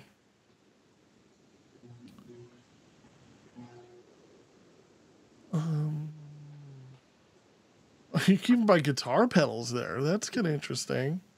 All right, so here we get into like the the nitty gritty of the electric guitar. Holy cow! Some of these look pretty cool. They're probably all kind of junk. Yeah, yeah. Probably like Chinese made junk. But you know, you get some nice inlays. You feel good about yourself. If you get better, you get something better. You get the squeeze box, drums. I had a DD5. I had one of these. So cute, like these little drum machine things. Um, I like this idea. This is the kind of thing Marty McFly would have had. Yeah. It's it's beautiful looking. Oh, here we go. Yeah, this is this is where the good stuff is. The under little portable shortwave radio, little Walkman. Yeah. Still, like it's still kind of generic stuff, like Magnavox at least. But where's like, all right, so finally Sony, legitimate I- Sony Walkman. I think I had that sports one, that yellow one right there. I Right here? think I might have had something like that back in the day. Yeah. I bet you it would still work. These things were made like tanks. Sometimes they needed a new belt. Right. Right. Do you ever have these? these headphone things? Oh man. Um. Oh, look at that thing. Oh man. That's for a hundred dollars. I would take this over a Walkman. Yes. Yes. That's pretty cool. That that's really really cool. Dual decker. Yeah. Yeah, I had I had like a dual decker like this, Right. but I always wanted like a big one with like detachable speakers. Exactly. Those are beautiful. I'm salivating right now. So I, I used to be in the boombox game. I, I got out of it for for a couple of reasons. One, because I really don't have the room for them anymore, and and also because they're really a pain in the neck to repair, and I'm not a guy who knows how to repair things. I didn't inherit that gene from my father, unfortunately. well, these things are so compact. They, they Right. squeeze so, like look at this thing. You have a CD player, cassette. Sometimes you have the two cassettes. You have a radio thing in there, and sometimes the speakers are detachable, which probably actually makes things a little bit easier. Wow, three hundred dollars for a Sony Discman.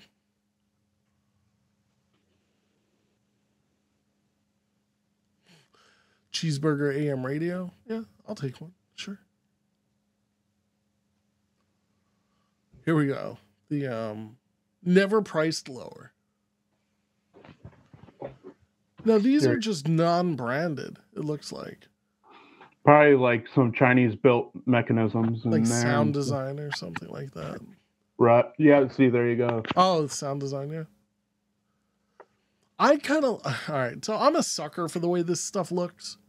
Yeah, and the wood grain. Yeah, and it's weird. You can go in. These are tiny too. Because look at the size of the cassettes, and then give yourself an idea of how big this whole thing is. It's very tiny, but they give you, you know, they make it look like it's huge. And you could go into like a Goodwill right now and find stuff like this, but they're asking two hundred dollars, and it's not worth it.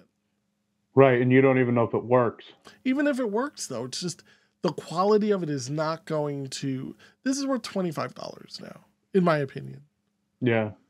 um, there's a coolness factor which is what i'm willing to pay for what is this it's fi- oh all right pioneer i guess a lot of buttons i guess a lot of buttons equals a lot of money I mean, this is I'm just yeah.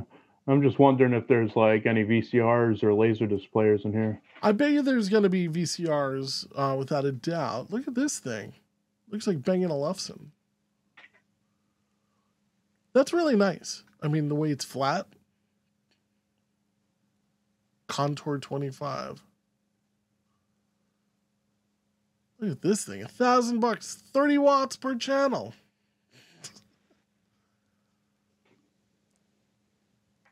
Oh, Marantz. Stuff looks crazy. Now this, this is what, given the choice, probably this is probably your best choice. You got the five disc changer, Sony, although Pioneer, two hundred dollars less, you still get a Pioneer. Oh, here we go. We're Alright. getting into the section that I love. Isn't this worth like seven thousand dollars? No, but it's awesome to see this stuff back when they were still new and being sold and the prices, you know, Mhm, yeah. like twenty four ninety five. Uh, I Do you want have to go up. You know, I don't want to, you know, blast through it. I have the Cinderella, I have the Mickey's Christmas Carol, I have the Sword and the Stone, Dumbo, Alice, and I believe I also have the Mary Poppins in this sale. Is this worth like when you see these for sale somewhere? Are these worth picking up from a collector's point of view? Well, if you collect Walt Disney home videotapes, certainly they are because there are like minor variations, you know, and right. minor differences that that we pick up on as Disney video collectors. But you know, to the grand collector who's looking to make a buck off of this stuff, no. Okay. I mean, I collect it for the nostalgia and everything, and that's how I watch this stuff. Well, that tape. would- Go ahead. No, I was gonna say I like the idea. Like, so when there's missing footage, right? Yeah. That's important. It's important Right. to preserve. You know, you, you're the person who certainly knows this. It's important to preserve it because you don't know when you're going to lose that. You don't know, like, all right, you know what? I'm going to rely on the Blu-ray. All right, well, the Blu-ray came out doesn't have that little 20 second, you know, little snippet, Right. and it's gone forever because you threw out the videotape. That Gulliver's Travels tape, I have that. Oh, this that's one? The, yeah, that's the Max Fleischer version. Uh, in, that happens to be my favorite film of all time. Oh, I love that movie. This is like when videotapes were also kind of like they were trying different things, you know. Um, cycle vision, go on a bike ride. Oh, here's Pee Wee's Big Adventure, or Pee Wee's Playhouse. Yeah. Pee Wee's Playhouse. I always call it that. Dirty Dancing when it was taking the world by storm. Babar, yeah, these videotapes were a big deal. This is around the time I worked at Blockbuster Video.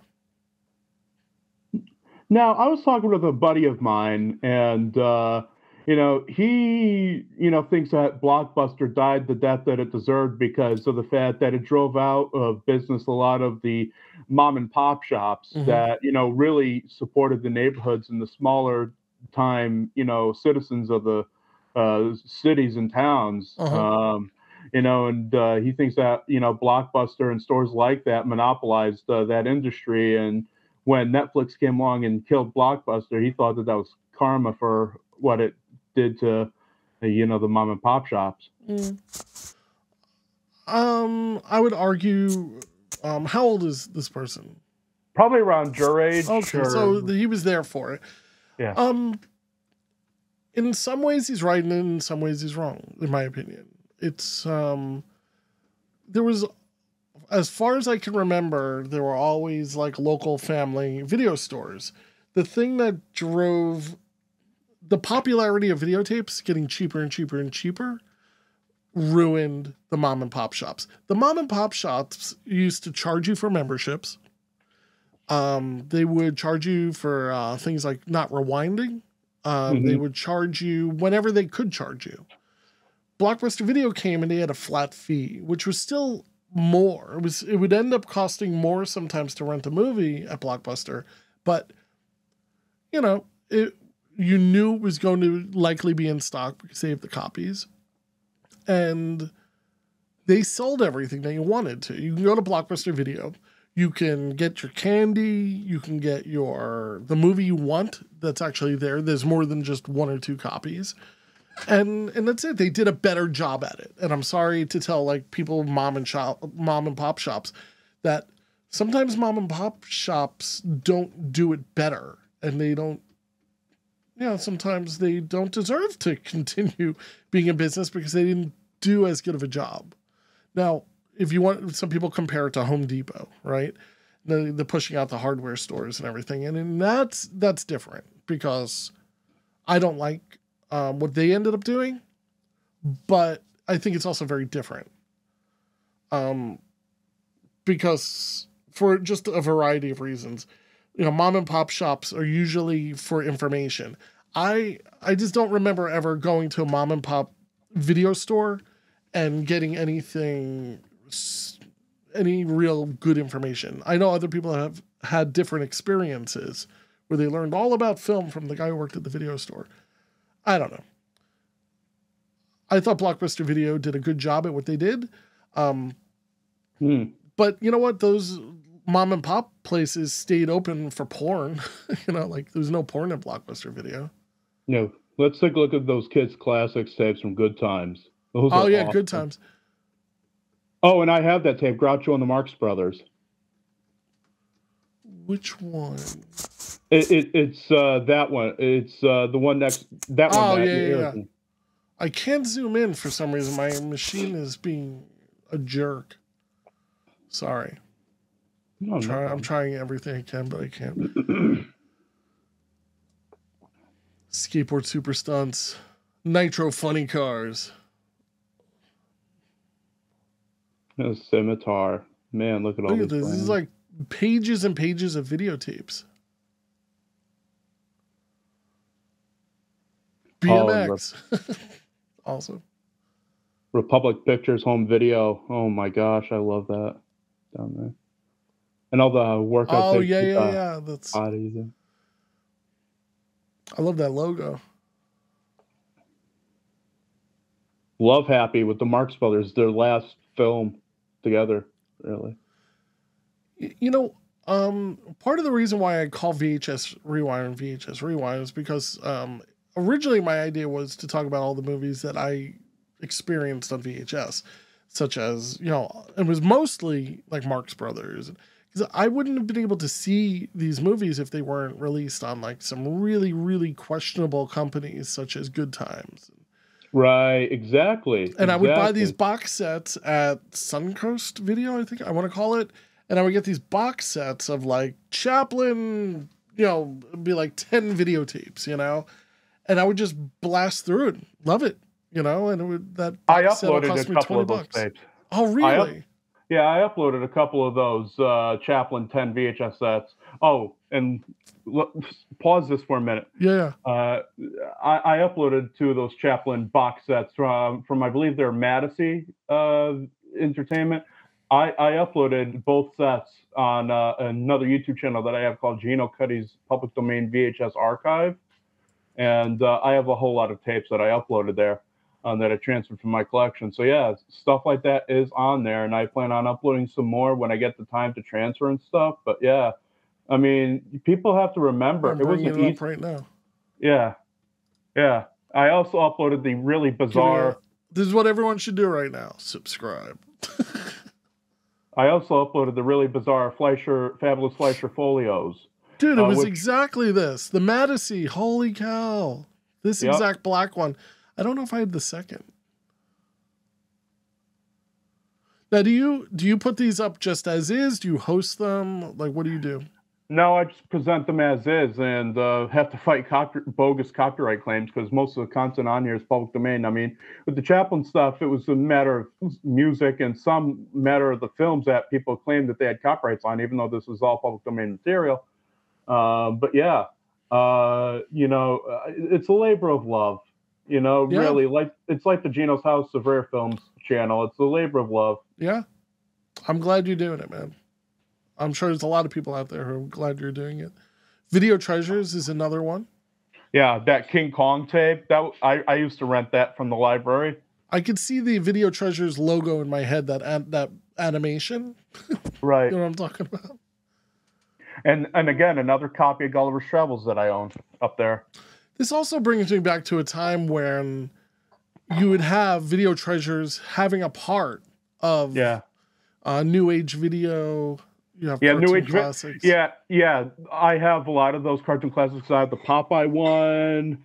I have some of those. And New Age Video is interesting because New Age Video eventually morphed into Alpha Video, which is still in business today. Oh, Um, yeah, New Age Video is basically a fly by night, another public domain video company that distributed like public domain films and cartoons on videotape. There were so many of those back in the day, and uh, I, I uh, have a sh- strong affinity for for that era of home video where public domain stuff was basically. pol- I would I don't want to say polluting, 'cause- but I proliferate pro, proliferated throughout the market you know and and then you have the parents approved stuff right there with that bugs bunny tape with that's not that well drawn yeah, that's really And- bad, right? and uh you know uh another guy and i have to give a tip of the hat to this guy who really has a strong affinity for the public domain vhs era is a fellow by the name of david scott and uh, he runs a, a, a tumblr blog called uh, the vcr from heck which is a really great blog dedicated to this material. And he really goes in depth on a lot of the tapes and the artwork and and even the backgrounds of some of the companies involved and just a really really sensational blog. And I highly recommend people checking his stuff out, going through the archives. it's VCR from heck.tumblr.com. Correct. And uh, you know, like I miss the era where you can go to a store and pick up a six-hour tape of nothing but cartoons. You know, I remember mean, that. The old days. Yeah, and it was a phenomenal era. I I collect a lot of those 50 cartoon tapes, and I upload a lot of them to uh to uh YouTube. That's where Uh, I well- saw it. Well, not YouTube, but to archive.org because uh, yeah, I love Yeah. um I love the um archive as well. But here's Oddity Archives 270. This is where I saw it pop up too, the uh, Chaplin Yeah. collection. I'm gonna watch Yeah. that, man. Um, one of the things that a lot of people, I don't know if this was just a tri-state area thing. This is certainly before your time, Geno. But on New Year's Eve, they would have a marathon of Chaplin movies um, on New Year's Eve, and I don't know. It's just gone. You know, it's uh, maybe it's been replaced by something else like Twilight Zone or something like that, which is fine. Everybody has to have their own thing. But um, I remember, I remember I used to tape it. You know, because I would always. I think I, I think there's eighty. You you might know how many Chaplin films there are. Maybe eighty six or eighty seven, and I, I think there's two of them I didn't have. And I think eventually I got them, but it was like at that time you would just tape, you know, like what do you have? What do you have? I want to try to get this, you know, and you can't find it. right, right. And um you would just do anything you can to get this stuff. Um containers, these things I th- what do you think of these? Do you think there's any value in picking up these holders? I think there there is, especially if you don't have a lot of room. I would love to have like a wall stacked up of like those types of of uh, yeah. I would of- of love those it. containers to to put my video cassettes in because it would just you know save a lot of space and I could just pull out a drawer. And you know what would be cool is if I could label them by genre or star or whatever, and and you know really like organize them like that. I have a You know? couple of them. I pick them up from Yeah. time to time because they're really not. They don't cost very much whenever I see them. Right. And right. but I have a few, and I'm, I I look at them and I'm like, well, do they really hold any value? I'm just not really sure. Some one of those because they do take up space, um, and I've really whittled down my VHS collection um, Mhm. considerably. Well, if if if you've you know substantially you know sh- shrunken your collection, then I wouldn't recommend you know buying them at this time. But yeah, if you have a large collection like I do, you know they would probably really come in handy for collectors and such. By the way, here's a VHS, uh, a videotape machine. Beautiful. Is all right, so back going back to the time, it's a stereo VCR. Big deal, right? That you can Mm-hmm. Record and play in stereo. um, you have Dolby noise reduction, six hundred twenty nine dollars. You could probably pick this up for about fifteen dollars now. Um, Beautiful machine though. yeah, I mean, look at this though, seventeen hundred dollars for the camcorder. Uh-huh. it's amazing how the prices have um, changed. Nine hundred for this one. Wow. Yeah, I mean it's. So are these all? Wait, three and four is Super VHS. I can't zoom, can I? No. Um. Yeah, so this is actually Super VHS. So you're getting a few extra lines of resolution. You still there, Gina? Yeah, I'm still Oh, here. okay, I'm sorry. You got quiet. I'm like, you know, you dozed off um, with me talking about this stuff. I'm just kidding. like the people who are watching this video. I'm just kidding. Um, so is this even a branded VCR? I don't see a brand. Probably just Sears branded, I, I would imagine, because I know Sears put out their own electronics. Well, or at least you know, hire got some parts from China, put together an electronic, and then just slap their name on Yeah. it. And, yeah. Here's just the player, the players. So at Blockbuster Video, we used to rent players. Hmm. And I think it was even Gold Star, if I'm not mistaken. So what was really cool about this is that if you have the if you have a proper um play recorder, I don't know if it was the recorder. These didn't these per, facilitated a way so that you could copy a videotape. They would bypass like the macrovision and Yeah, there that. was something with the Gold Star where you could rent it from Blockbuster Video and you could actually make a copy unofficially. But I always thought Macrovision had was built into the recorder. But I'm not 100% sure about that. But I remember people claiming, I, I never did this um, with this machine, but people claim that you could use the Gold Star rental from Blockbuster Video to make copies. I could be wrong.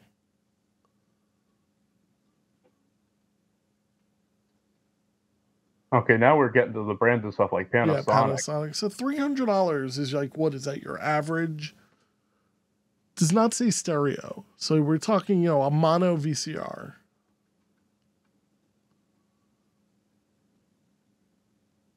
Interesting.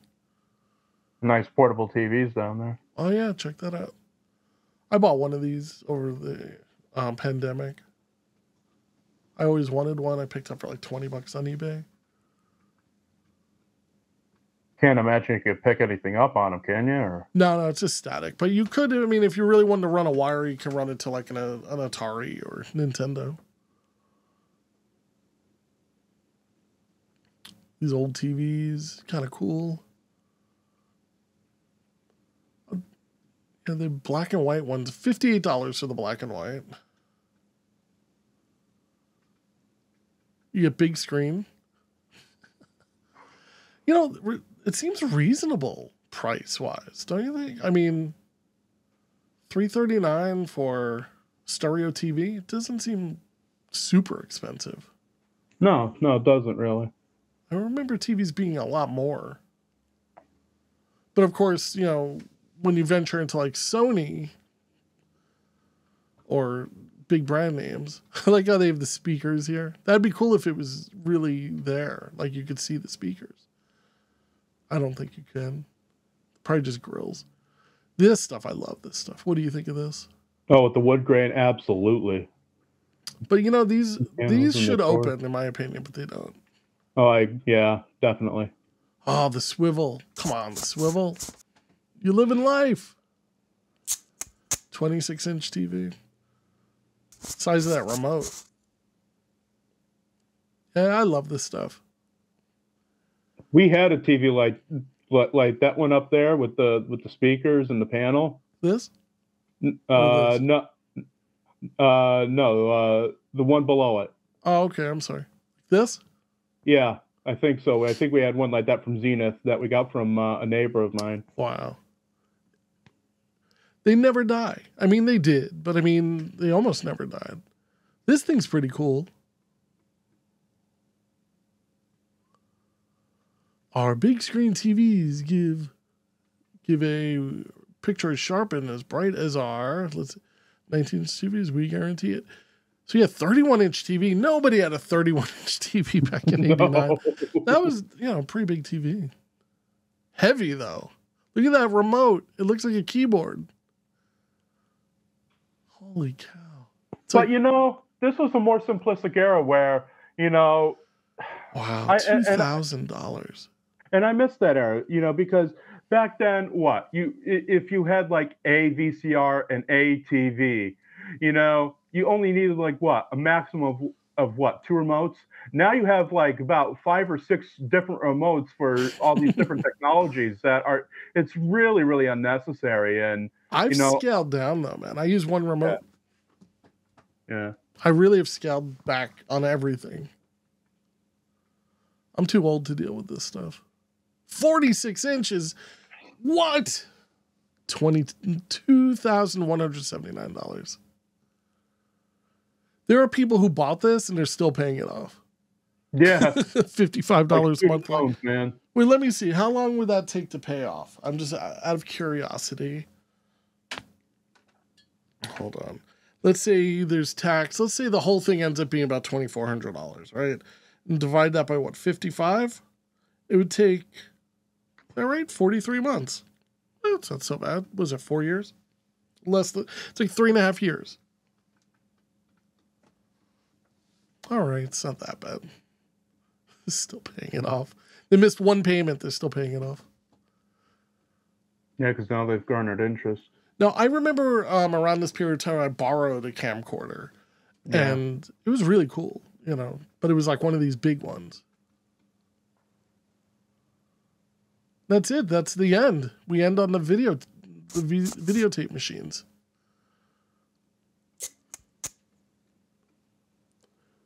So uh, the cheapest one I see here is a thousand dollars to get your feet wet in a camcorder Right. and there's no brand, right? Hitachi. Oh wait, no, that's for the battery. Huh. Well, Geno, I want to thank you so much for lasting this entire two-hour embarkment upon the 19 was it 88 88 or Yeah. 89 it feels like it might be 1990 by now. Um, yeah thank you for putting up with the uh, the journey. I know these can be almost kind of exhausting but is the 88 wish book. And yeah i had a great time man. Thank you so much for doing this. Yeah, uh, you're very welcome. I, I, I want to thank you for bringing this to my attention, and I had a lot of fun as well doing this. well let's definitely pick another topic in the future and jump through it i have a bunch of these old catalogs um, i had a blast want to wish you and your family a merry christmas you know of course and a happy new year i'm sure i'll talk to you throughout but I and I want to wish you and your and I want to wish you and your family a uh, happy New Year and a happy Hanukkah. Thank you. Hanukkah's early this year. It's uh, going to be in about two weeks from now. And uh, yeah, um, what would you pick? If you could pick one item right off the top of your head, two items, two items out of this catalog, what would you have grabbed?